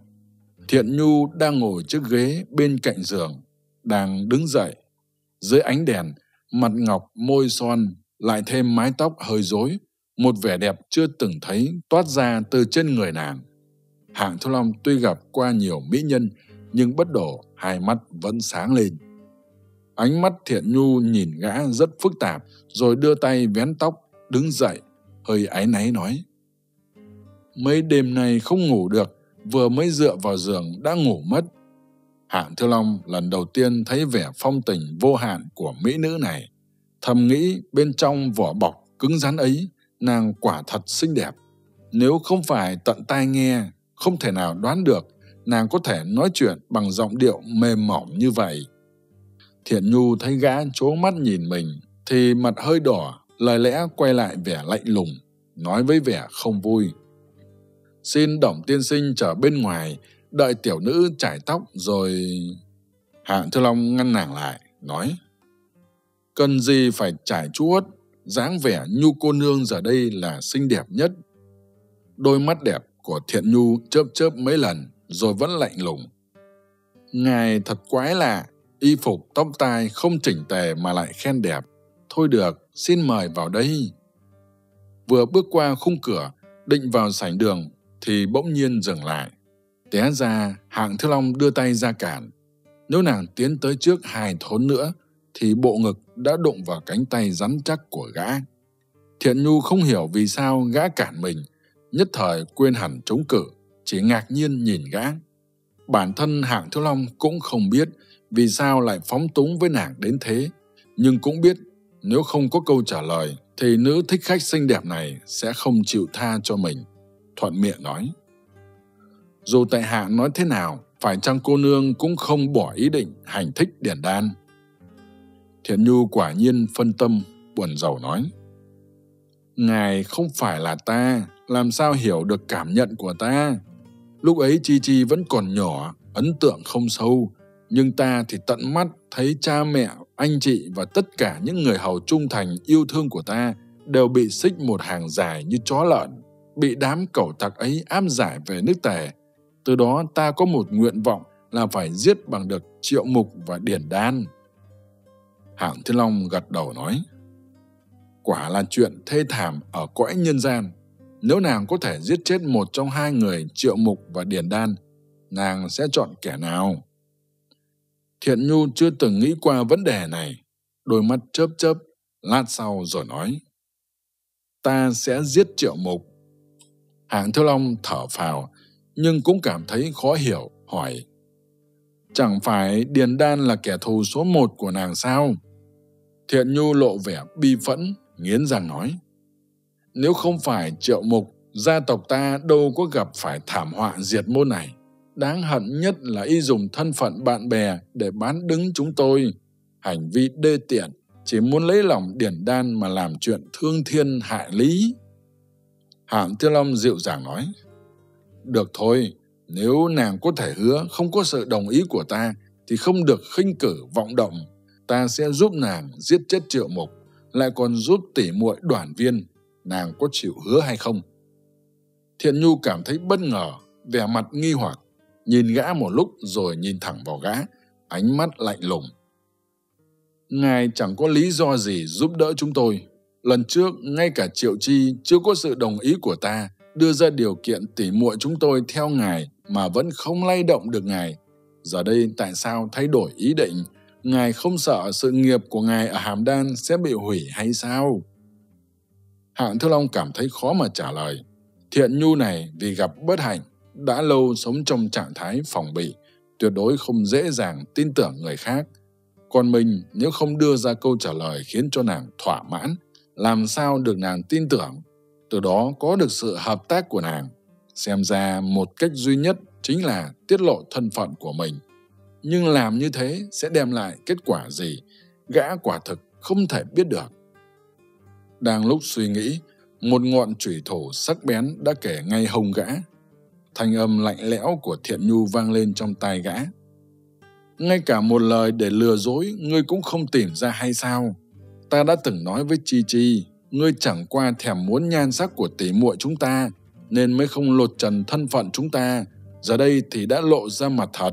Ừ chi chi lại còn biện hộ cho ngươi nữa hạng thư long biết nàng vì chuyện báo thù mà có tâm lý khác với người, nhưng không ngờ nàng lại có thể rút đào ra. Nhưng lúc này, trực giác cho gã biết, nàng sẽ để cho gã có cơ hội giải bày, lắc đầu rồi cười khổ. Nếu nàng biết triệu mục làm chuyện thị phi trước mặt triệu vương như thế nào, bảo rằng ta sẽ ảnh hưởng đến bang giao của triệu sở, khiến cho giờ đây ta đành phải nhàn rỗi, một lòng muốn rời khỏi nước triệu thì sẽ biết ta tuyệt đối có lý do giúp nàng đối phó triệu mục Thiện Nhu nhìn gã không chớp mắt rồi thu cây trùy thủ lại. Lời này của hạng Thứ Long có cả thật lẫn giả. Nhưng chuyện Hiếu Thành Vương lại nhạt với Đồng Khuông. Thiện Nhu đã sớm nghe được, nhưng không ngờ lại có liên quan đến Triệu Mục, nên cũng tin được quá nửa. Thiện Nhu nhích về phía trước, suýt nữa ngực đụng phải tay hạng Thứ Long, nói vẻ chua chát. Nếu ngài có thể giúp chúng ta giết chết Triệu Mục, Thiện Nhu chính là người của ngài rồi đó. Hạng Thu Long cảm thấy có một sự kích thích không thể nào tả được. Giữa gã và mỹ nữ này không hề tồn tại vấn đề kinh tuấn như triệu chi, khiến gã có thể yên lòng hưởng thụ. Một lý do khác là bởi thiện nhu lúc thường ngày vừa lạnh lùng vừa dữ dằn, có dáng vẻ không chịu tuân phục, đột nhiên lại dùng tình cảm mềm mỏng để quyến rũ gã, thật là khiến người ta phải sao xuyến. Nhưng nếu gã kìm nén không được, lập tức ăn nằm với nàng, nàng sẽ không coi gã ra gì. Cố làm ra vẻ bình tĩnh nói. Đồng mỗ phải nói trước rằng, trừ phi nhu cô nương can tâm tình nguyện theo ta, Nếu không ta tuyệt đối không chiếm tiện nghi của nhu cô nương. Nếu là cuộc giao dịch thì có thể miễn đi. Đồng khuông ta há là kẻ đê tiện thừa nước đục thả câu. Thiện Nhu ngạc nhiên lắm, không hề nhích ra, ngược lại còn tự nhiên ép sát lên thêm nữa. Hạng Thứ Long tuy cũng muốn tránh lắm, nhưng thiếu đi ý chí và định lực. Nhất thời hai người đều có cảm giác kỳ lạ trong người. Không ai muốn nhích ra hay thay đổi. Thiện Nhu nhíu mày nói. Tại sao ngài quyết định cùng chúng tôi làm chuyện nguy hiểm này? Hạng Thứ Long nhìn khuôn mặt thanh tú của nàng với vẻ yêu thương, dịu dàng nói. Chủ yếu vì ta thực sự thích hai người, cũng là vì bạn tốt của ta, y chính là phu tế của Thiện Lan. Sau này khi các người gặp được Thiện Lan sẽ hiểu được tất cả. Có tiếng chân vang lên. Hai người giật mình. Hạng thư Long nhích ra. Thiện Nhu cũng bước ra phòng ngoài. Hạng thư Long bước theo Thiện Nhu, chỉ thấy Triệu Chi bưng mâm thức ăn còn bốc khói và bầu rượu, mỉm cười bước lên lầu. Ba người ăn uống vui vẻ. Triệu Chi đưa miếng bánh lên, mỉm cười nói. Đồng tiên sinh hãy thử tài nghệ của Triệu Chi, nhân lúc còn nóng, hãy ăn cho ngon miệng. Hạng Thiếu Long nhớ lại, chưa kịp ăn cơm tối, vội vàng ngoạm miếng bánh vào miệng. Không biết có phải vì đói bụng hay không mà thấy rất ngon, mồm khen không ngớt, nụ cười của Triệu Chi càng đẹp hơn. Thiện Nhu ăn một miếng bánh rồi dừng lại, chờ hạng Thiếu Long nuốt xong rồi mới hỏi bằng giọng ôn hòa. Đồng tiên sinh chắc đã có kế sách. Hạng Thiếu Long biết nếu không để lộ một chút thì Thiện Nhu chắc không chịu tin tưởng gã.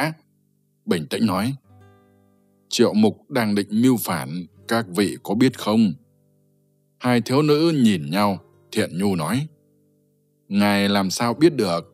Chẳng phải vừa rồi đã nói Triệu Mục phải hãm hại ngài sao? Hạng Thứ Long thầm nghĩ, muốn lừa con cọp cái này thật chẳng dễ chút nào. Giả vờ ung dung nói. Tình hình thật sự phức tạp vô cùng. Rồi nhíu mày, lặng lẽ không nói. Hai thiếu nữ cảm thấy kỳ lạ, chưng hửng nhìn gã. Điều hạng thiếu long nghĩ trong lòng là có nên tiết lộ thân phận với bọn họ hay không, vừa có thể tránh phải giải thích nhiều, lại không xảy ra hiểu nhầm nữa. Giờ đây tình thế rất rõ ràng, chỉ dựa vào mối quan hệ của Thiện Lan, thiếu nữ này sẽ không bán đứng bọn họ. Uống chi hai nàng còn có tình ý với gã, Triệu Chi đồng thời là yêu gã với hai thân phận. Thiện Nhu vẫn hoài nghi nói, chắc ngài đang gạt chúng tôi, cho nên nhất thời không tìm ra được lời gì để nói cho xong. Triệu Chi nói, Nhu tỷ, đồng tiên sinh chẳng phải hạng người ấy đâu. Thiện Nhu nổi giận. muội hãy để y tự giải thích. Hạng Thiếu Long đã quyết định nên cảm thấy thoải mái vô cùng, ngồi dựa ngửa trên ghế, xoa bụng nói. Bánh của chi cô nương quả thật là loại thức ăn ngon nhất trên đời. Thiện Nhu tức giận nói. Đừng lảng tránh nữa, hãy mau trả lời câu hỏi của ta. Hạng Thiếu Long giang tay chân ra, vừa lúc đụng phải đùi Thiện Nhu. Thiện Nhu nhích ra, giận dữ nói. Không trả lời, ta sẽ giết ngươi. Hạng Thiếu Long chỉ vào cổ mình nói. Cô nương gác kiếm lên chỗ này của ta, ta mới nói sự thật. Hai thiếu nữ nhìn nhau, không thể hiểu được. Hành vi của người này quả thật khác người, khiến người ta không biết đường nào mà lần. Hạng Thiếu Long nhân lúc hai thiếu nữ đang bất ngờ, trước tiên quay người lại, cúi xuống lột mặt nạ ra, rồi đột nhiên ngồi lại, tỉnh bơ, cầm một miếng bánh nhai ngấu nghiến. Hai thiếu nữ lúc đầu không để ý, vẫn chưa hiểu gì. Khi nhìn kỹ lại mới hoảng hốt kêu thét lên. Thiện Nhu lùi ra sau, rút thanh trùy thủ, quay về với dáng vẻ của một con báo cái. Triệu Chi thì chố mắt, không tin nổi vào mình nữa. Hạng Thu Long cúi người, chống tay lên bàn, từ tốn bưng chén rượu, nheo mắt nhìn hai thiếu nữ với vẻ đắc ý, nói Tại hạ quả thật trước giờ vẫn lừa hai vị cô nương, nhưng hãy tha thứ cho nỗi khổ của tại hạ. Triệu Chi bình tĩnh trở lại, thay vào đó là bộ mặt đỏ ửng, cúi đầu e thẹn, giận dỗi nói. Hạng Thiếu Long, chàng hại người ta thảm quá, Triệu Chi còn mặt mũi nào để gặp chàng nữa. Hạng Thiếu Long đương nhiên hiểu rõ ý nàng, cười nói. Hãy yên tâm, ta sẽ không ghen tị với đồng khuông đâu. Huống hồ chi, y vẫn chưa thực sự làm chuyện xấu gì với nàng kia mà. Triệu Chi vừa tức giận, vừa thẹn mà không nói lên lời, nhưng trong lòng cũng đang mừng thầm. Thiện Nhu đột nhiên cười phá lên, cất ngọn chủy thủ vào, ngồi xuống nói. Ngài thật lợi hại, cả thành hàm đa này đều bị ngài lừa bịp cả. Hạng Thiếu Long mang mặt nạ lên, quay trở về với bộ mặt của đồng khuông. Thiện Nhu nói với Triệu Chi.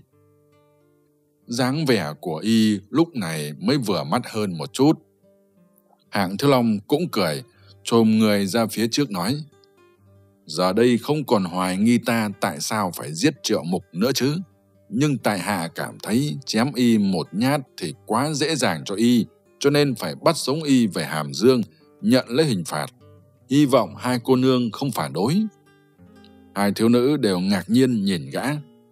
Hạ Thiếu Long nói, Thiện Lan đã bị người tề đem tặng cho Lã Bất Vi, may mà Lã Bất Vi lại tặng cho tại hạ. Nàng và hảo huynh đệ đăng dực của ta vừa gặp đã yêu, đã kết thành phu phụ, rất thương yêu nhau. Rồi quay sang Triệu Trì nói, Người hôm nay liên tiếp đánh bại hai thủ hạ của Lý Viên chính là Đăng Dực. Giờ đây nàng đã hiểu vì sao y lấy tên là Long Thiện rồi chứ. Thiện Nhu thì lẩm nhẩm câu, vừa gặp đã yêu, rõ ràng cảm thấy lời lẽ rất mới mẻ. Triệu Chi hoang mang, cúi đầu nói, Kinh Tuấn đang ở đâu?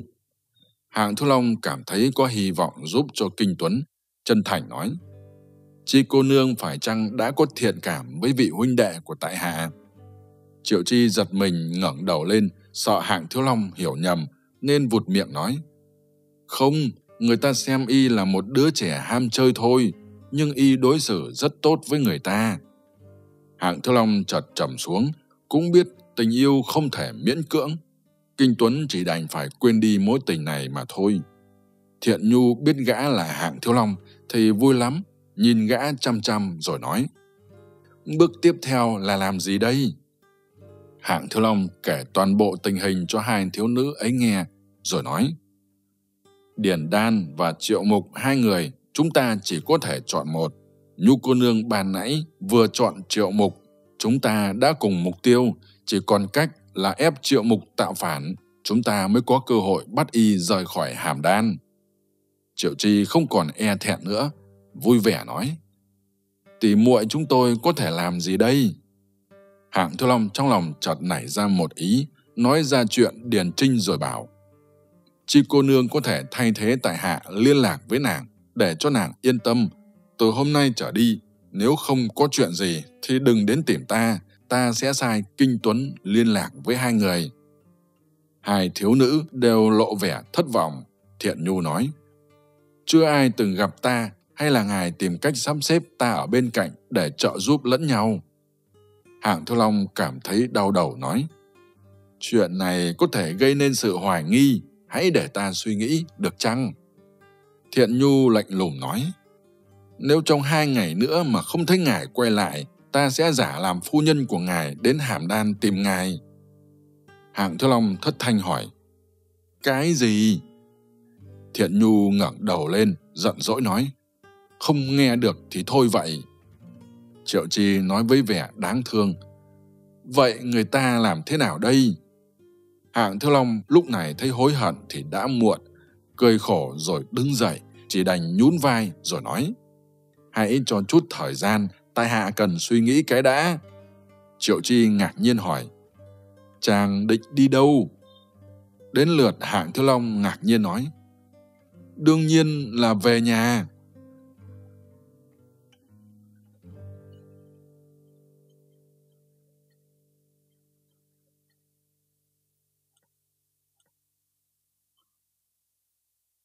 Chương 84 Rơi vào trốn hiểm nguy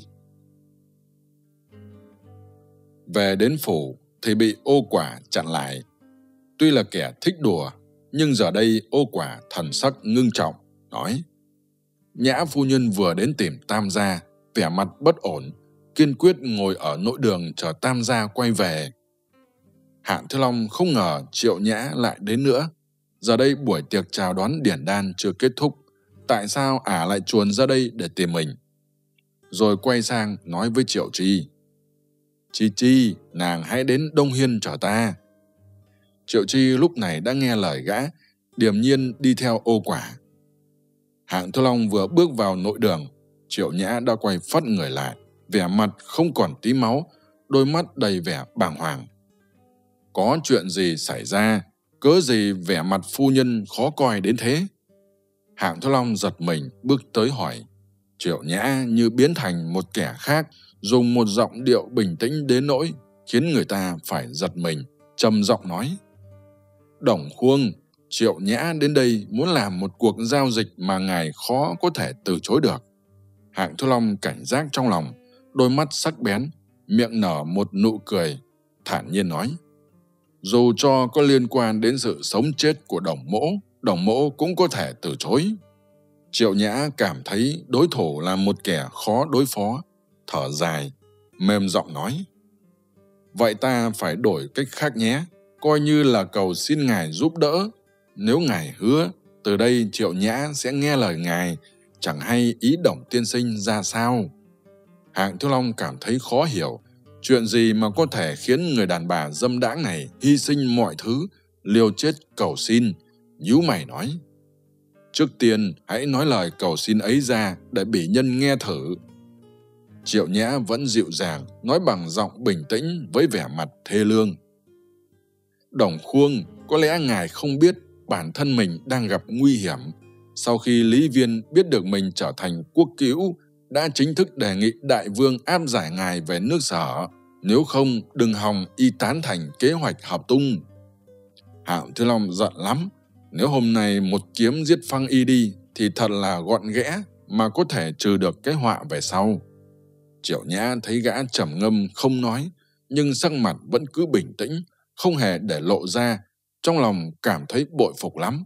Dịu giọng nói, Vương Huynh giờ đây vẫn chưa quyết định, y sợ cho dù giờ đây có hy sinh ngài, người sở lại bội tín như lần trước, như vậy đều tổn thất cả đôi đường. Thiếu Long đột nhiên rất muốn cười lớn một trận, chuyện nhảm nhí trong thiên hạ chẳng qua chỉ đến mức này mà thôi. Từ đó có thể thấy Hiếu Thành Vương là kẻ ích kỷ đến giường nào, chưa bao giờ đối đãi với người khác như là con người. Nếu hiện nay trong tay gã có một đội quân nước tần tinh nhuệ thì lập tức sẽ kiếm Hiếu Thành Vương và Lý Viên tính sổ. Hai người này đều là những kẻ tiểu nhân đê tiện. Triệu Nhã tiếp tục nói, Hiện nay chỉ có một mình ta có thể ảnh hưởng đến Vương Huynh, khiến cho ngài có thể được sống vui vẻ ở Hàm Đan. Cho nên, nếu Triệu Nhã đi theo ngài thì có thể mang đến cho Đồng Tiên Sinh rất nhiều điều lợi. Hạng thư Long nhớ lại ngày hôm đó, sau khi đánh bại Liên Tấn, khi Triệu Nhã đến tìm gã đàm phán, nói rõ sự lợi hại, cũng là những lời vừa nói. Gã vội bảo, ta biết phu nhân rất lợi hại, chẳng qua là bà vẫn chưa nói ra yêu cầu bổn nhân làm chuyện gì. Triệu Nhã mặt lộ vẻ kiên quyết, thản nhiên nói, ta muốn ngài hãy đi chặn lại một người, bảo y đừng đến hàm đan, bởi vì đại vương đã được mật báo, biết y đang trên đường đến hàm đan, đang bày ra thiên la địa võng để chờ y xa vào. Hạng Thứ Long giật mình, mở to mắt nhìn Triệu Nhã. Gã cuối cùng cũng hiểu được ấy là chuyện gì. Triệu Đại nói rất đúng, Triệu Nhã không thể quên được gã, cho nên khi biết Triệu Mục đã được mật báo của người Tần về chuyện này, đã không tiếc mọi thứ, yêu cầu gã cảnh giác với hạng Thứ Long để khỏi sập bẫy của người Triệu. Triệu Nhã chấn tĩnh rồi nói, Giờ đây ở Hàm Đan chỉ có một mình Đổng Khuông Ngài có đủ sức và dũng khí để làm chuyện này. Thủ hạ của Ngài đều đóng ở ngoài thành, lại quen hoạt động ở chốn hoang dã, cho nên chỉ có các vị mới có bản lĩnh chặn lại hạng Thiếu Long và tùy tùng của y. Hạng Thiếu Long suýt tí nữa ôm ả vào lòng. Bảo với ả rằng mình chính là hạng Thiếu Long, người ả muốn cứu.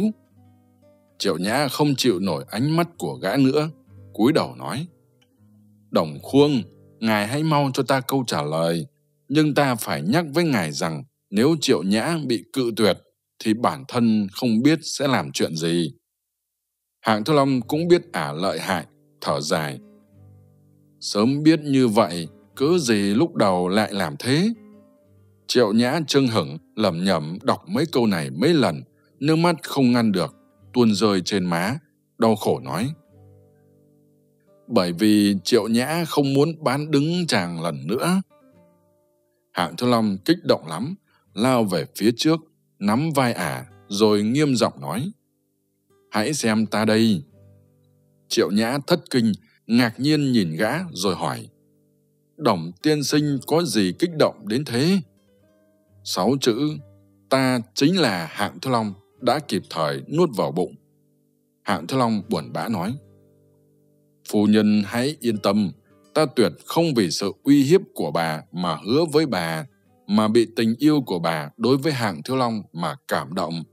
Ta, đồng khuông này có thể lập tức thề rằng nếu hạng thiếu long bước chân vào hàm đan nửa bước, ta, đồng khuông sẽ tuyệt tử tuyệt tôn, chết bất đắc kỳ tử.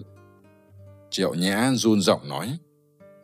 Đồng khuông ngài có biết chăng triệu nhã cảm kích ngài đến mức nào chăng?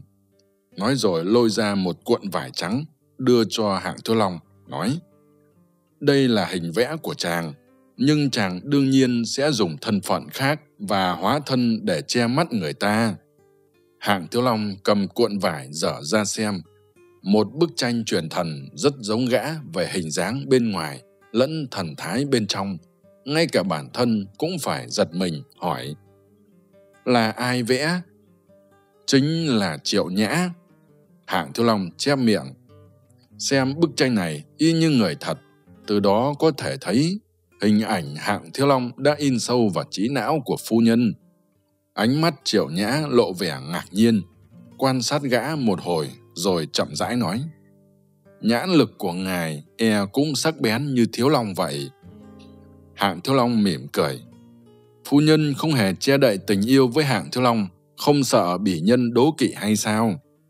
Triệu nhã đau khổ nói, ngài quả là một kẻ đặc biệt trong số những nam nhân triệu nhã gặp được, chỉ có đối diện với ngài, ta mới có thể quên được hạng thư long. Nói vậy, tiên sinh có hài lòng chưa? Hạng thư long lạnh nhạt nói, rất hài lòng. Phu nhân có thể quay về, ta còn phải sắp xếp bọn thổ hạ, quan sát địa hình, để hoàn thành thỉnh cầu của phu nhân.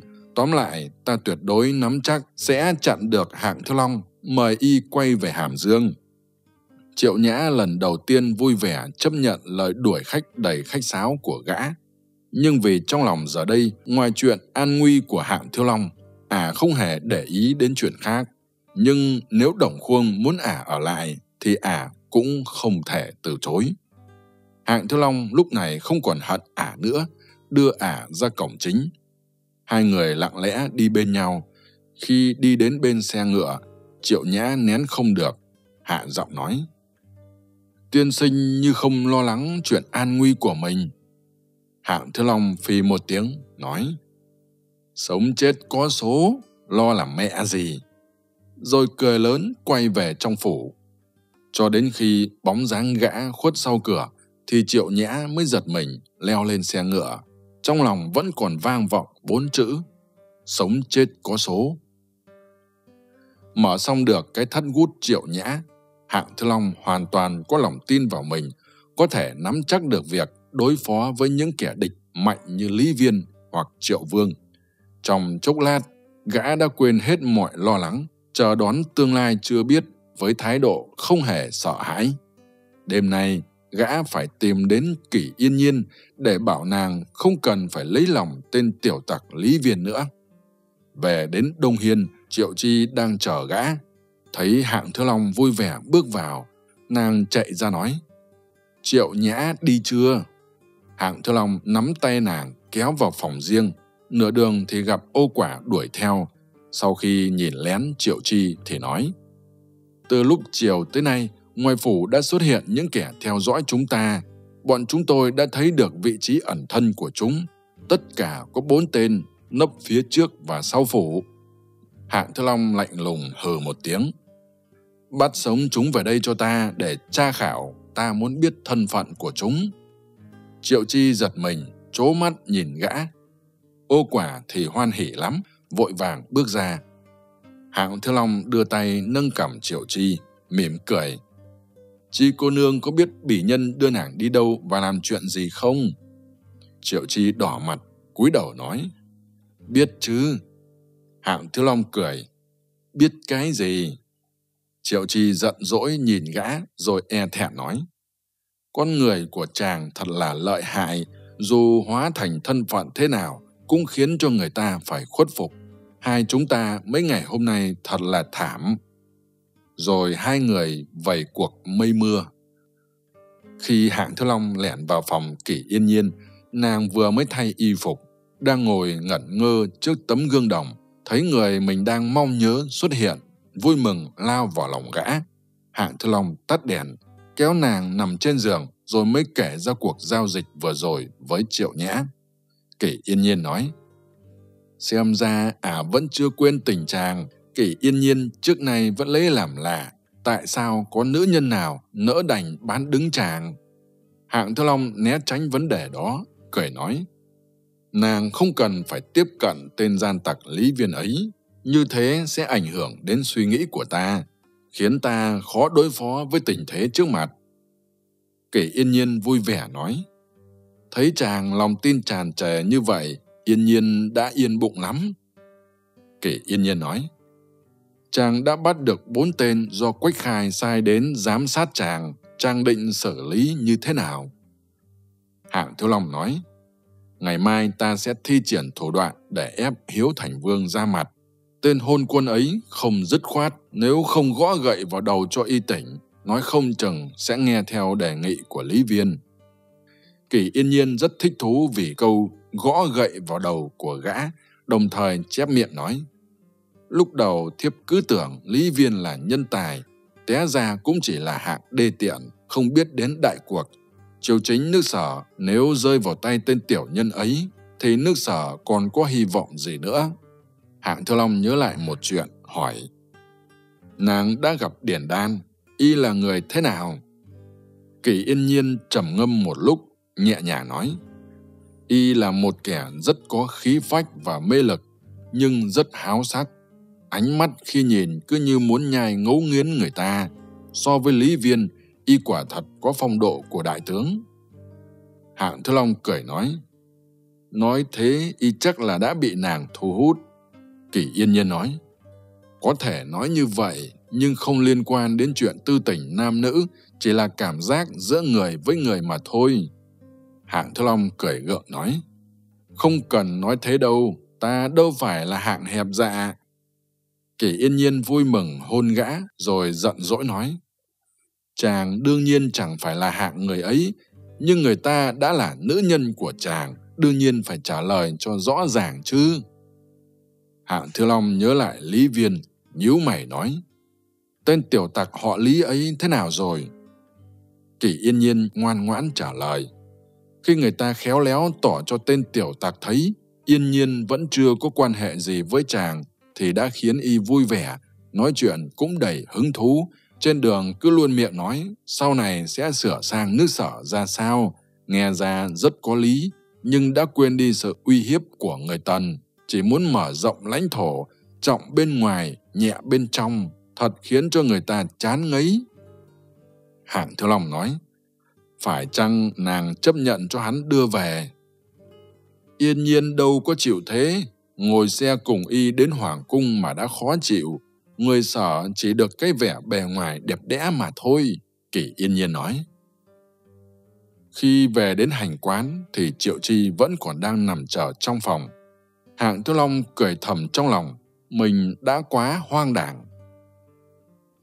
Sáng hôm sau, khi thức dậy, thì mặt trời đã lên ba cây xào, gã mới tỉnh dậy.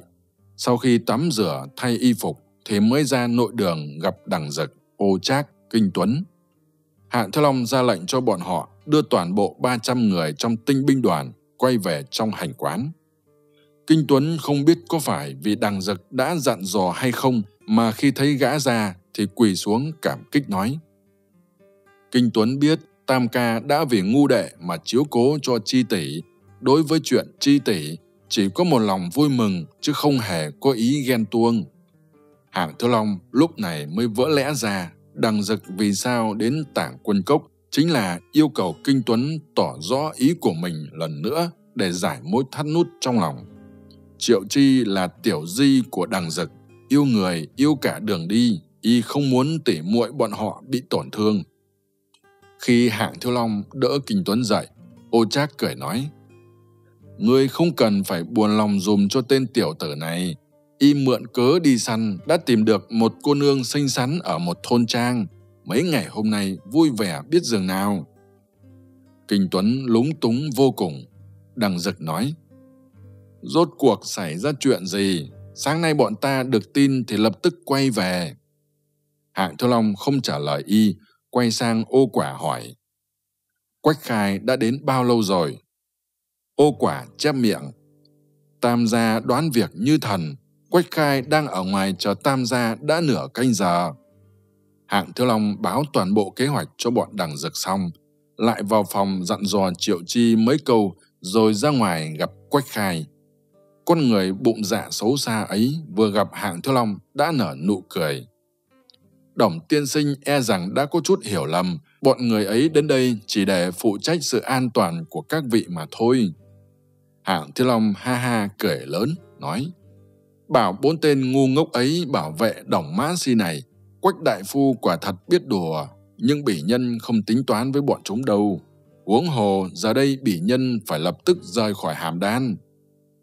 Quách khai ngạc nhiên hỏi, cớ gì tiên sinh phải đi? Hạng Thiếu Long lạnh nhạt nói, nơi này không giữ người, tất sẽ có nơi khác. Ngoài hai nước, sở, triệu, thiên hạ ai mà không hoan nghênh kẻ nuôi ngựa như ta. Quách khai lạnh lùng hừ một tiếng, nói, Đổng tiên sinh đã về đến đại triệu, nói đi là đi, như vậy khác gì phản bội, tiên sinh suy nghĩ kỹ lại thì hơn. Hạng Thư Long quắc mắt, nhìn thẳng vào Quách Khai, nói với giọng cứng rắn nhất. Đồng mỗ trong tay có 300 tráng sĩ, đều là những người lâu năm liều chết với bọn mã tặc. Kẻ nào cũng có thể một địch trăm, giờ đây chúng tôi xông ra ngoài thành. Dù đại vương phái đại quân ra, bọn thủ hạ chúng tôi chẳng phải là bọn tham sống sợ chết. Rồi đây thành hàm đan và thiên hạ sẽ thấy thủ đoạn lấy oán báo đức của đại vương. Nói xong chẳng thèm nghe lời của Quách Khai, bước ra ngoài sân. Bọn đằng dực và 300 tên binh sĩ đã mặc võ phục. Ai nấy đều mang theo cung tên, ra vẻ chuẩn bị xuất phát. Khi hạng Thư Long nhảy lên ngựa, Quách Khai lao ra, kéo ngựa lại, lời nói như van xin. Đồng tiên sinh đừng như thế, chuyện gì cũng có thể thương lượng. Giờ đây ta lập tức cùng tiên sinh vào cung kiến giá, chút bỏ hiểu lầm. Hạng Thiếu Long cười lạnh lùng. Nếu Quách Đại Phu muốn hai tay còn nguyên, xin hãy buông ra. Quách Khai biết kiếm thuật của gã lợi hại, hoảng sợ buông tay ra. Hạng Thiếu Long quát lớn. Đại vương đối đãi với đồng khuông như vậy, thật khiến người ta khinh bỉ, phi, rồi phun ra một bãi nước bọt, rồi lại quát nữa. Chúng ta lập tức xông ra thành, ai dám cản đường sẽ giết kẻ ấy. 300 huynh đệ trong tinh binh đoàn nhất tề dạ gian, xa gần đều nghe, thành thế thật lớn. Cửa phủ mở rộng, đằng dực phóng ngựa ra trước, dẫn theo đội nhân mã. Quách khai thấy sự việc hỏng bét, vội vàng chạy về cấp báo với Hiếu Thành Vương. Đại đội nhân mã chậm chậm đi về cửa đông. Hạng Thiếu Long đã sắp xếp trước, tin này mau chóng chuyển ra, trong chốc lát cả thành hàm đan đều biết bọn họ sắp bỏ đi bên đường ai nấy tranh nhau ra xem, không ít người nài nỉ bọn họ ở lại.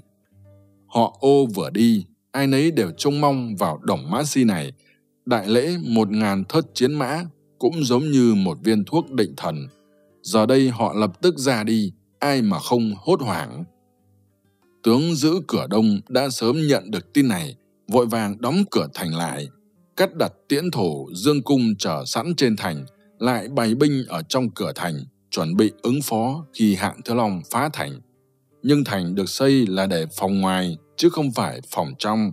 khi có người tạo phản ở phía trong thì không thể chiếm được nhiều ưu thế. Nhạc thừa đến sớm nhất, tăng cường phòng bị, đồng thời thúc ngựa chạy đến cửa thành, chuẩn bị đàm phán với tên Mã Si này. Bọn đằng dực thấy đại quân cản đường thì hạ lệnh, ai nấy tay phải cầm mộc, tay trái cầm nỏ, hai chân thúc ngựa, khí thế ấy khiến mọi người đều hoảng sợ. Nhạc thừa gọi lớn, mời Đổng Tiên Sinh ra nói chuyện với nhạc thừa. Đằng dực hạ lệnh một tiếng, 300 người chia thành hai tổ, tách ra hai bên, mỗi bên chiếm lấy những vị trí có thể yểm trợ cho mình, chuẩn bị tác chiến. Nhất thời không khí như tên căng trên cung, vừa đụng là có thể bắn ra ngay. Chỉ để lại một mình hạng thế long trên yên ngựa, hiên ngang bước đến bên nhạc thừa, quát lớn. Đồng mỗ kính trọng nhạc tướng quân, nhưng nay tình thế đã khác. Nếu tướng quân muốn cản đồng mỗ thì chỉ có thể gặp nhau bằng binh đao, tuyệt không lưu tình. Nhạc thừa khổ não nói, tiên sinh cớ gì nổi giận như thế, chuyện gì cũng có thể thương lượng giải quyết. Nếu tiên sinh và mạt tướng đi gặp đại vương, nếu đại vương gật đầu, tiên sinh có thể thản nhiên rời khỏi đây, lại còn tránh được máu nhuộm cửa thành. Lúc này, người đến xem càng lúc càng đông, chen lấn đầy cả đường lớn, ngõ nhỏ. Đương nhiên không ai dám bén mảng đến con đường lớn trước cửa thành. Hạng Thiếu Long thấy có lợi, chỉ thấy sau lưng nhạc thừa xuất hiện một đội cấm vệ quân, biết được Hiếu Thành Vương đã men theo bờ thành mà đến, trong lòng buồn cười lắm, quát lớn. Nhạc tướng quân phải chăng đang đùa cợt, nếu đồng mỗ vào cung không bị trói lại làm lễ vật đưa về sở mới là lạ. Chỉ hận lão tử là kẻ thô kệch, có mắt không chồng, không quản ngàn dặm xa xôi quay về nước triệu để giúp sức, tưởng rằng đại vương có thể kế thừa truyền thống của Vũ Linh Vương, dùng chiến mã uy hiếp thiên hạ. Nào ngờ nước triệu không phải mất trên chiến trường, mà lại mất trên bản đàm phán của người sở. Đồng mỗ giờ đây đã chán ngán cõi lòng, cho dù chết tại hàm đan, cũng phải tỏ cho được khí khái bất khuất của đồng mỗ ta đây. Nhạc thừa nhất thời á khẩu, chẳng nói được lời gì. Tướng lĩnh là triệu binh phía sau lưng đều tỏ vẻ đồng tình, sĩ khí giảm xuống rất nhiều. Ngược lại, người của phía hạng Thứ Long thì tỏ vẻ liều chết, ý định quyết chiến dâng cao, chỉ chờ nhận được lệnh công kích mà thôi. Bọn triệu binh lao sao. Hiếu Thành Vương cùng Quách Khai và Thành Tế thúc ngựa ra, trên mặt lộ vẻ kiên quyết, đến chỗ nhạc thừa thì cao giọng kêu lớn. "đổng khanh ra, đừng nghe những lời đồn đãi, quả nhân tuyệt không có ý đưa tiên sinh về nước sở, chỉ là hiểu nhầm mà thôi. Hạng Thiếu Long ngửa mặt lên trời, cười lớn. Đại vương đừng trách bỉ nhân nói thẳng không kiêng dè, giờ đây người tần ở chốn biên cương, người hung nô lại ở phía bắc lăm le dòm ngó tình thế đất nước nguy cấp, nhưng đỏng mã di ta đây chỉ suốt ngày nhàn tản, chỉ có đắc tội với bọn tiểu nhân cháo trở vô nghĩa. Lịch sử đã cho chúng ta biết kẻ tự hủy trường thành cuối cùng chỉ lâm vào thế cuộc nước mất nhà tan, kẻ thắng làm vua há mong được quay về. Trong đám đông có người reo lớn, những người khác lập tức cũng vỗ tay khen hay. Hạng Thư Long giả vờ phẫn nộ, cao giọng quá lớn. Xin đại vương hãy rời long giá, bỉ nhân sẽ dẫn bọn huynh đệ đột phá vòng vây. Nếu bất hạnh bỏ thây thì coi như dùng cái chết để can ngăn đại vương. Nếu đại triệu có thể vì cái chết của đồng khuông mà trở nên mạnh mẽ, không còn bị những kẻ bên ngoài khống chế, đồng mỗ chết cũng nhắm mắt.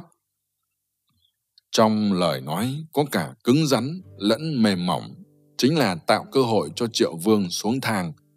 Hiếu Thành Vương trong lòng rất mâu thuẫn, vừa yêu vừa hận đối với đồng Mã Si, nhưng trong lòng cũng có ý khác, bởi vì y đã từng định hy sinh đồng khuông để đổi cho việc Lý Viên thuyết phục sở vương hợp tung đối phó với người Tần.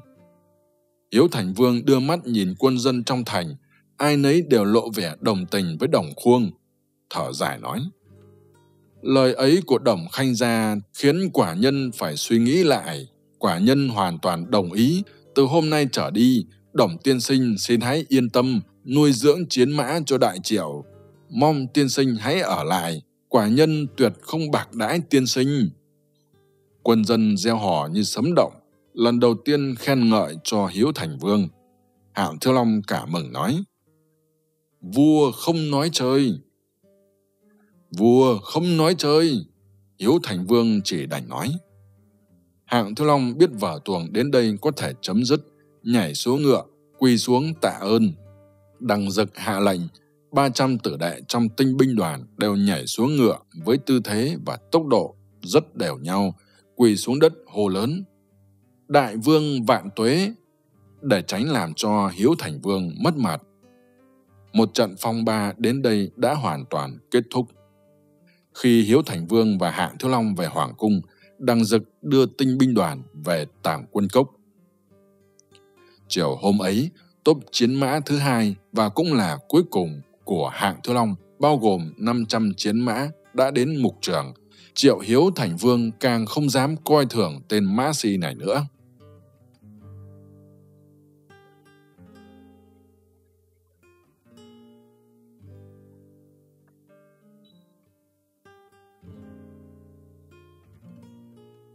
Các bạn thân mến, mời các bạn tiếp tục theo dõi bộ truyện Tầm Tần Ký, tác giả Huỳnh Dị.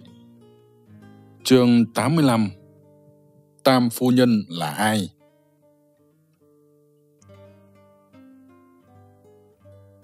Sau chuyện này, uy tín hạng thu Long tăng lên. Đêm ấy Triệu Vương đãi yến để xoa dịu gã. Những người đến tham dự đều là đại thần tướng lĩnh của nước Triệu. Triệu Nhã, Triệu Chi đều có mặt. Hai mỹ nữ này giờ đây quan hệ với gã đã khác, không còn phải mượn cớ để gần gũi gã như trước nữa. Triệu Mục nhân lúc không ai để ý, xoay sang gã hạ giọng. Chuyện quan trọng như vậy tại sao không thương lượng trước với ta? Hạng Thiếu Long đã sớm có câu trả lời, chân thành nói. Thứ nhất vì tình thế nguy cấp, thứ hai vì ta cố ý không để hầu gia biết được chuyện này, để cho bọn chúng biết hầu gia hoàn toàn không có liên quan để tránh bị nghi ngờ. Triệu Mục vẫn còn có chút khó chịu, nhưng cũng phải khen rằng Ngươi làm thật tuyệt, có một nhân tài như thế này giúp ta, lo gì việc lớn không thành. Hạng Thiếu Long vì muốn sự tin tưởng của y đối với mình, đồng thời cũng ép y tạo phản, hạ giọng nói. Tiểu nhân đã nghe được tự miệng triệu nhã, sự việc chắc có liên quan đến người tề, nhưng chuyện cụ thể thì vẫn chưa rõ được. Triệu Nhã rốt cuộc là có quan hệ mật thiết với người tề nào. Triệu Mục lập tức biến sắc, lạnh lùng hừ một tiếng, nói Chắc chắn là tề vũ, lần này y theo Điển Đan đến đây. Ừ, uổng cho ta coi trọng Điển Đan, y lại dám bán đứng ta. Hạng Thiếu Long lúc đó mới biết tề vũ đã đến, thừa cơ hỏi Hầu ra sao lại bất trí như thế, tiết lộ bí mật này cho Điển Đan. Triệu Mục nói, vẫn là vì chuyện lỗ công bí lục và tên hạng thiếu long ấy, nhưng bọn họ không biết thân phận thật sự của ta, chỉ biết ta và cha có quan hệ mật thiết, nhưng nếu Hiếu Thành Vương biết được chuyện này, ta sẽ gặp nguy hiểm ngay. Hạng Thiếu Long toan dò hỏi chuyện bí lục, thì Triệu Bá đã dẫn Triệu Trì bước đến. Triệu Bá cười nói, Đồng tiên sinh lúc nào đến tệ quán chỉ điểm cho bọn đồ đệ đây. Hạng Thư Long biết từ chối không được, nên chỉ đành hẹn thời gian với y. Triệu Chi nhìn y với ánh mắt tràn đầy tình cảm, vui vẻ nói. Hay là để Triệu Chi tiếp đại giá của tiên sinh? Biết được có cơ hội và cớ để gặp hạng Thư Long, mỹ nữ đã động lòng xuân ấy, sao không vui cho được. Triệu Mục và Triệu Bá đều lấy làm lạ nhìn Triệu Chi. Lúc này Triệu Nhã bước tới, kéo gã qua một bên rồi khen. Ta càng lúc càng thấy ngài thật lợi hại, không cần người ta mà cũng hóa giải được vấn đề, không biết lời hứa của ngài có còn giá trị hay không. Hạng Thu Long vỗ ngực nói, Đại trượng phu một lời hứa nặng ngàn vàng, sao có thể lừa gạt một mỹ nhân như phu nhân, chỉ cần y quả thật đến hàm đan, thì mấy hôm nay đã có tin tức đưa về. Triệu Nhã nghi hoặc nhìn Thiếu Long, nói tại sao đồng tiên sinh lại có thể yêu thương triệu nhã đến thế? Hạng thiếu long lặng người đi rồi mới lấp liếm. Nói thật trước đây đồng mỗ vì nghe chuyện hạng thiếu long nên coi thường phu nhân đến hôm nay mới biết phu nhân không phải là hạng đàn bà ác độc có lòng dạ lang xoái, nên có cách nhìn khác về phu nhân. Triệu nhã buồn bã nói tiên sinh mắng rất hay triệu nhã quả thật hối hận không kịp. Nếu không phải có chút tâm tư thì chết sớm cho rồi để khỏi chịu tội sống mà không bằng chết. Hạng thiếu long ngạc nhiên hỏi phu nhân còn có chuyện gì chưa an tâm? Triệu nhã nhìn gã rồi nói, hình như ngài không có ý khuyên ta đừng chết. Hạng Thư long cười gượng nói, lòng mỹ nhân thật khó dò, phu nhân đã cảm thấy sống không bằng chết. Nếu ta khuyên phu nhân đừng chết, há chẳng phải là bảo phu nhân hãy sống để mà chịu tội?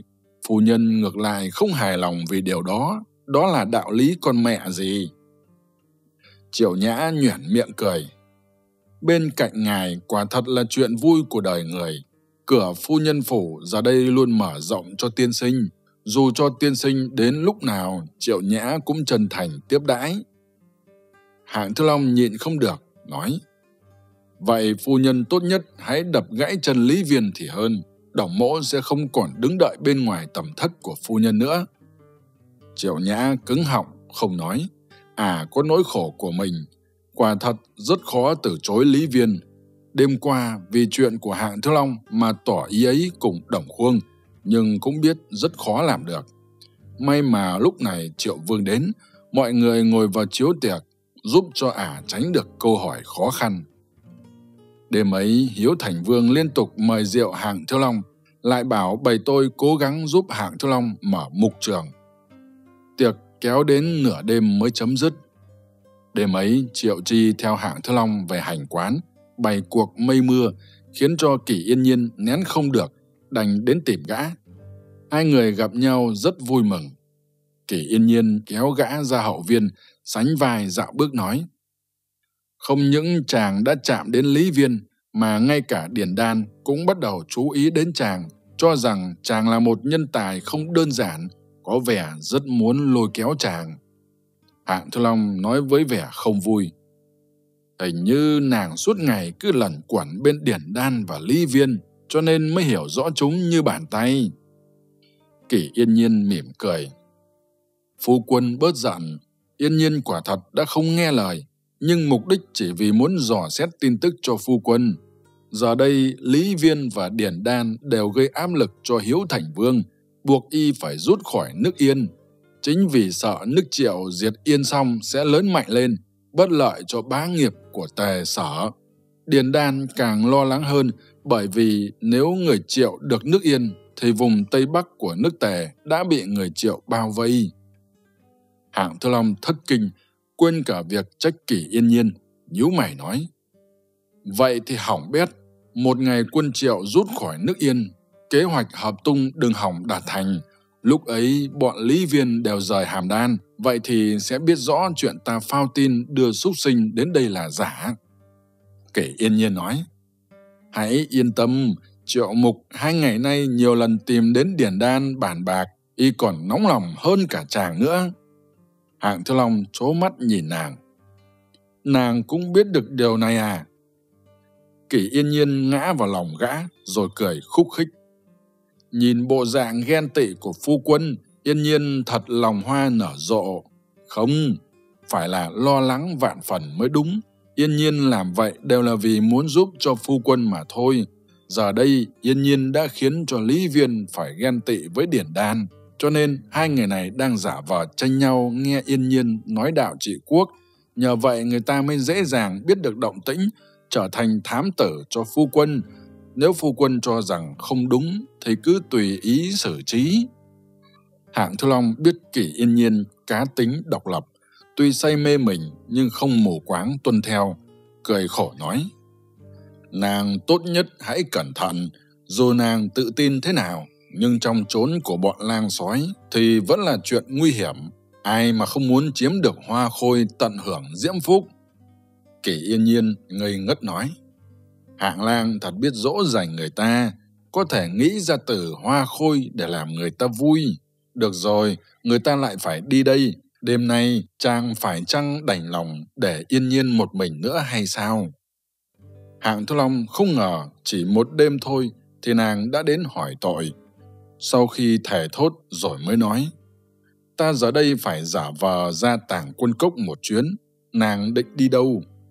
Kỷ yên nhiên nói tinh vương hậu đã nhiều lần mời người ta vào cung. Lần này không thể từ chối, nên phải vào gặp bà ta một chuyến. Rồi hai người chia tay nhau, triệu chi cũng về hành quán. Đêm hôm ấy, gã mới cùng đằng dực quay về hàm đan. Lúc ấy bọn giữ thành đều nhận ra gã là đồng mã si, nên không cần lệnh bài, cũng để gã vào thành. Thiếu nữ mà kinh tuấn có được quả thật thiên kiều bá mị, tên tiểu tử ấy rất vui mừng. Hạng thư long cũng cất đi tâm sự trong lòng mình, để y ở lại mục trường. Dưới bàn tay của bọn ô trác, mục trường ở tàng quân cốc giờ đã bắt đầu hiện ra, nhưng điều quan trọng hơn là các cứ điểm mang tính chiến lược lại mở ra các con đường bí mật để có thể băng rừng lội suối. Chỉ cần dùng kế đưa triệu mục đến đây bọn họ cầm chắc có thể bắt sống được y về tần. Trên đường về phủ, đằng giật nói, ta đã sai người mua súc sinh ở các nơi. Nếu mục trường bắt đầu hình thành, thì đó là lúc chúng ta động thủ. Hạng Thư long gật đầu đồng ý. Khi hai người vào phủ, ô quả chạy đến với vẻ mặt kỳ lạ. Tam phu nhân đã đến. Hạng Thư long và đằng dực nhìn nhau, kêu lên tam phu nhân. Ô quả cười gượng nói, là phu nhân của tam gia, không phải tam phu nhân thì là ai? Tam phu nhân thật là xinh xắn, tính tình cũng thật kỳ lạ. Đằng dực không vui, nói ngươi đang nói nhảm điều gì? Hạng thư long nhớ lại cái hẹn hai ngày của thiện nhu trong lòng kêu khổ. Hai ngày nay bận rộn ngập đầu, đâu nhớ lời cảnh cáo như đùa của nàng lúc ấy kéo đằng dực vào phủ kể ra chuyện này. Đằng dực vừa nghe đã cảm thấy đau đầu, chép miệng. May mà hôm qua vừa đưa đến một tốp chiến mã, cứ coi nàng đi theo trong tốp ấy cũng được, chuyện này ta sẽ sắp xếp ổn thỏa. Hạng thư long kêu lên, huynh không đi khuyên đại đi mà lại còn muốn nàng làm phu nhân của đại sao? Đằng dực cười gượng nói, đệ hãy đi ứng phó với nàng trước nhưng ta xem nàng cũng có ý với người tốt nhất là hãy dùng mềm mỏng lẫn cứng rắn. Hãy dựa vào thủ đoạn của mình để thu phục nàng đi. Nói xong lời vô tình ấy thì vội vã chuồn mất. Hạng thiếu long đành đánh liều đi về nhà. Chưa bước vào nội đường thì đã nghe tiếng mắng chửi của thiện nhu. Nô tỳ chẳng có lấy nửa đứa. Chẳng lẽ bọn nam nhân vụng về các ngươi hầu hạ ta sao? Thật chẳng còn thể thống gì nữa. Hạng thất long vừa bước ra cửa, thiện nhu đã reo lên. Tướng công về rồi à không có chuyện của bọn ngươi, cút mau cho bổn phu nhân. Bốn huynh đệ trong tinh binh đoàn ấy như được giải thoát, ôm đầu chạy mất. Thiện nhu đã thay đổi y phục hoa lệ, đầu cài châm, vẻ đẹp cao quý lạnh lùng, khiến cho hạng thư long chố mắt ra nhìn, thấy dáng vẻ nàng chống nạnh mà khiến cho người ta phải sợ hãi. Thiện nhu bật cười nói, người ta giả làm phu nhân của chàng có giống không? Hạng thiếu long chắp tay sau lưng, đến phía sau nàng, ghé mũi vào cổ nàng ngửi.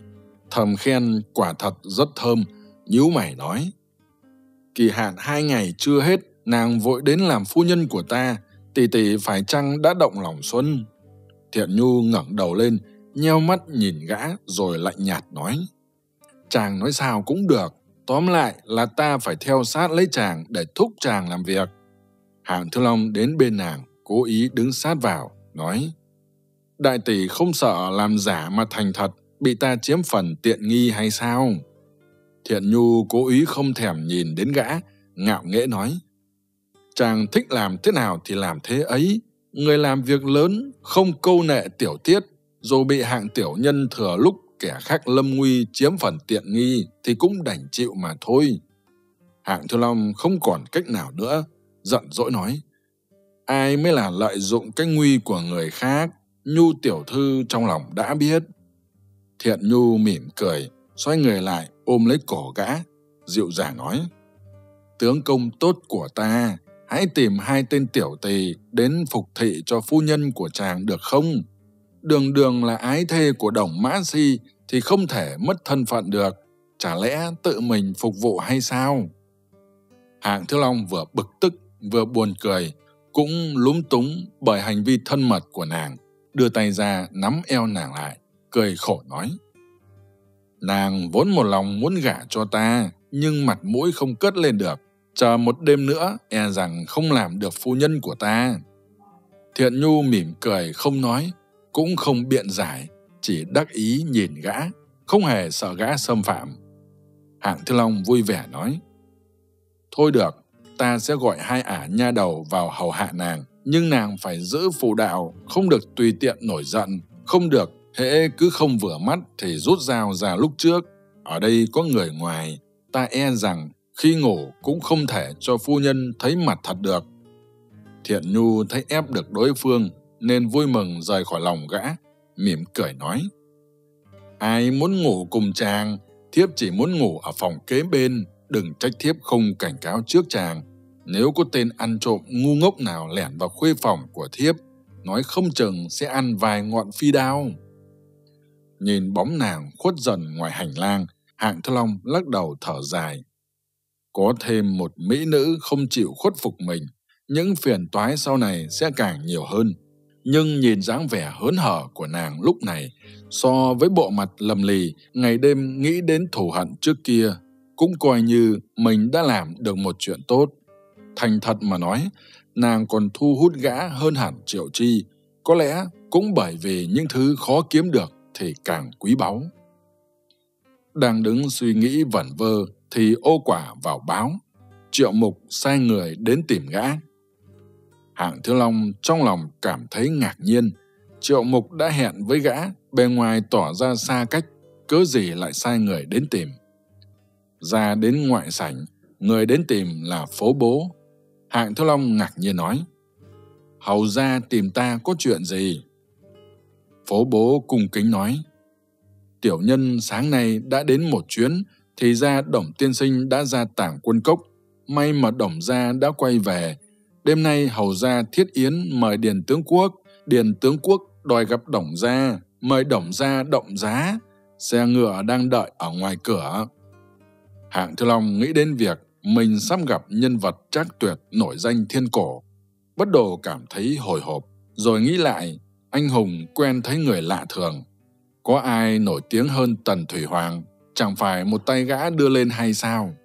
Đến đây thì yên tâm hơn, vội vàng thay đồ rồi ra cổng. Ngoài cổng có một cỗ xe ngựa sang trọng do năm người thân binh hộ tống. Hạng Thiếu Long cười với phố bố. Phố huynh, nào hãy ngồi cùng xe với ta, có người nói chuyện cũng hay. Phố bố từ chối không được, nên đành ngồi xe với gã. Nói vài câu, phố bố hạ giọng nói. Đồng gia quả là một hảo hán tử, coi sự sống chết như đùa. Bọn huynh đệ chúng tôi rất ngưỡng mộ ngài.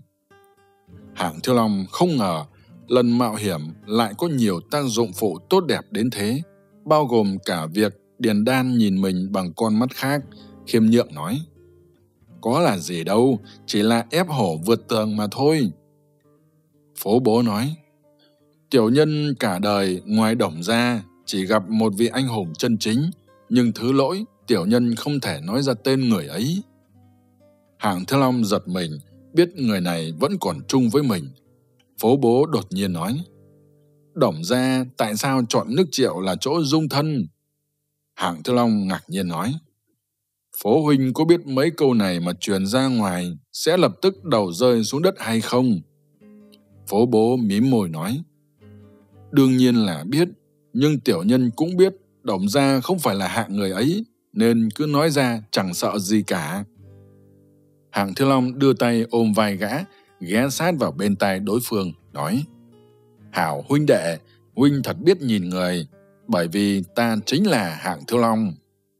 Phố bố giật nảy người, ngẩn ra một lúc rồi mới cúi người khấu đầu. Hạng Thiên Long đương nhiên không để y làm như vậy, lợi dụng cơ hội này kể hết mục đích của mình, đồng thời cùng bàn bạc đại kế. Phố bố vui mừng hớn hở, cuối cùng gần giọng nói. Tên gian tặc triệu mục này chẳng phải là con người, bạo ngược hung tàn, khiến cho người ta nhà tan cửa nát, chúng tôi cứ mãi chờ hạng gia quay về. Hạng Thiếu Long lạnh nhạt nói, y sắp bị trả báo rồi đó. Lúc ấy xe ngựa đã vào đến hầu phủ, hai người đặt ra cách liên lạc với nhau rồi mới xuống xe. Nơi bày tiệc là gian nhà lần đầu tiên được gặp Triệu Mặc cử tự nghiêm bình. Sau khi đến Hàm Đan, đã không còn nghe tin tức về người này nữa. Nghĩ bụng sau khi gặp lại Triệu Chi sẽ hỏi xem sao. Vừa nghĩ đến Triệu Chi thì đã thấy nàng đang ở nơi huấn luyện bọn ca vũ cơ lần trước, cười đùa vui vẻ với một đám vũ cơ xinh xắn.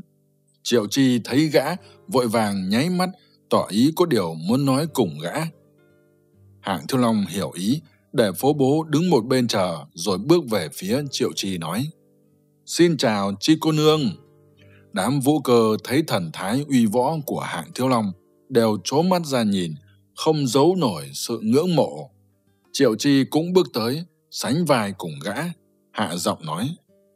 Tỷ muội Điền Trinh đêm qua đã bị Triệu Mục đưa vào cung hầu hạ Điền Đan. Điền Đan rất hài lòng, nói không chừng sẽ giữ lấy làm của riêng. Điền Trinh cầu xin chàng hãy cứu bọn họ. Hạng Thiếu Long gật đầu nói, biết rồi, bảo với bọn họ ta sẽ không rũ tay áo đứng nhìn đâu. Tuy là nói vậy, nhưng gã cũng không biết làm thế nào để cứu bọn họ. Triệu Chi suýt tí nữa xem hạng Thiếu Long là thần tiên, cứ nghĩ rằng gã đã hứa thì tất sẽ làm được. Vui mừng nói, thiếp đã nói với họ chàng là người tình sâu nghĩa nặng, nhất định sẽ giúp đỡ bọn họ. Hạng Thiếu Long cười gượng, vội vàng nói chuyện của Thiện Nhu. Triệu Chi che miệng cười nói, Hạng lang thật lợi hại, thiếp thấy tỷ tỷ đã yêu chàng phát cuồng lên. Hạng thứ Long dở giọng bỡn cợt. Vậy còn nàng? Triệu Chi đỏ mặt, cố ý làm ra vẻ suy nghĩ rồi nói. Người ta ấy à, một khắc cũng chẳng muốn rời chàng.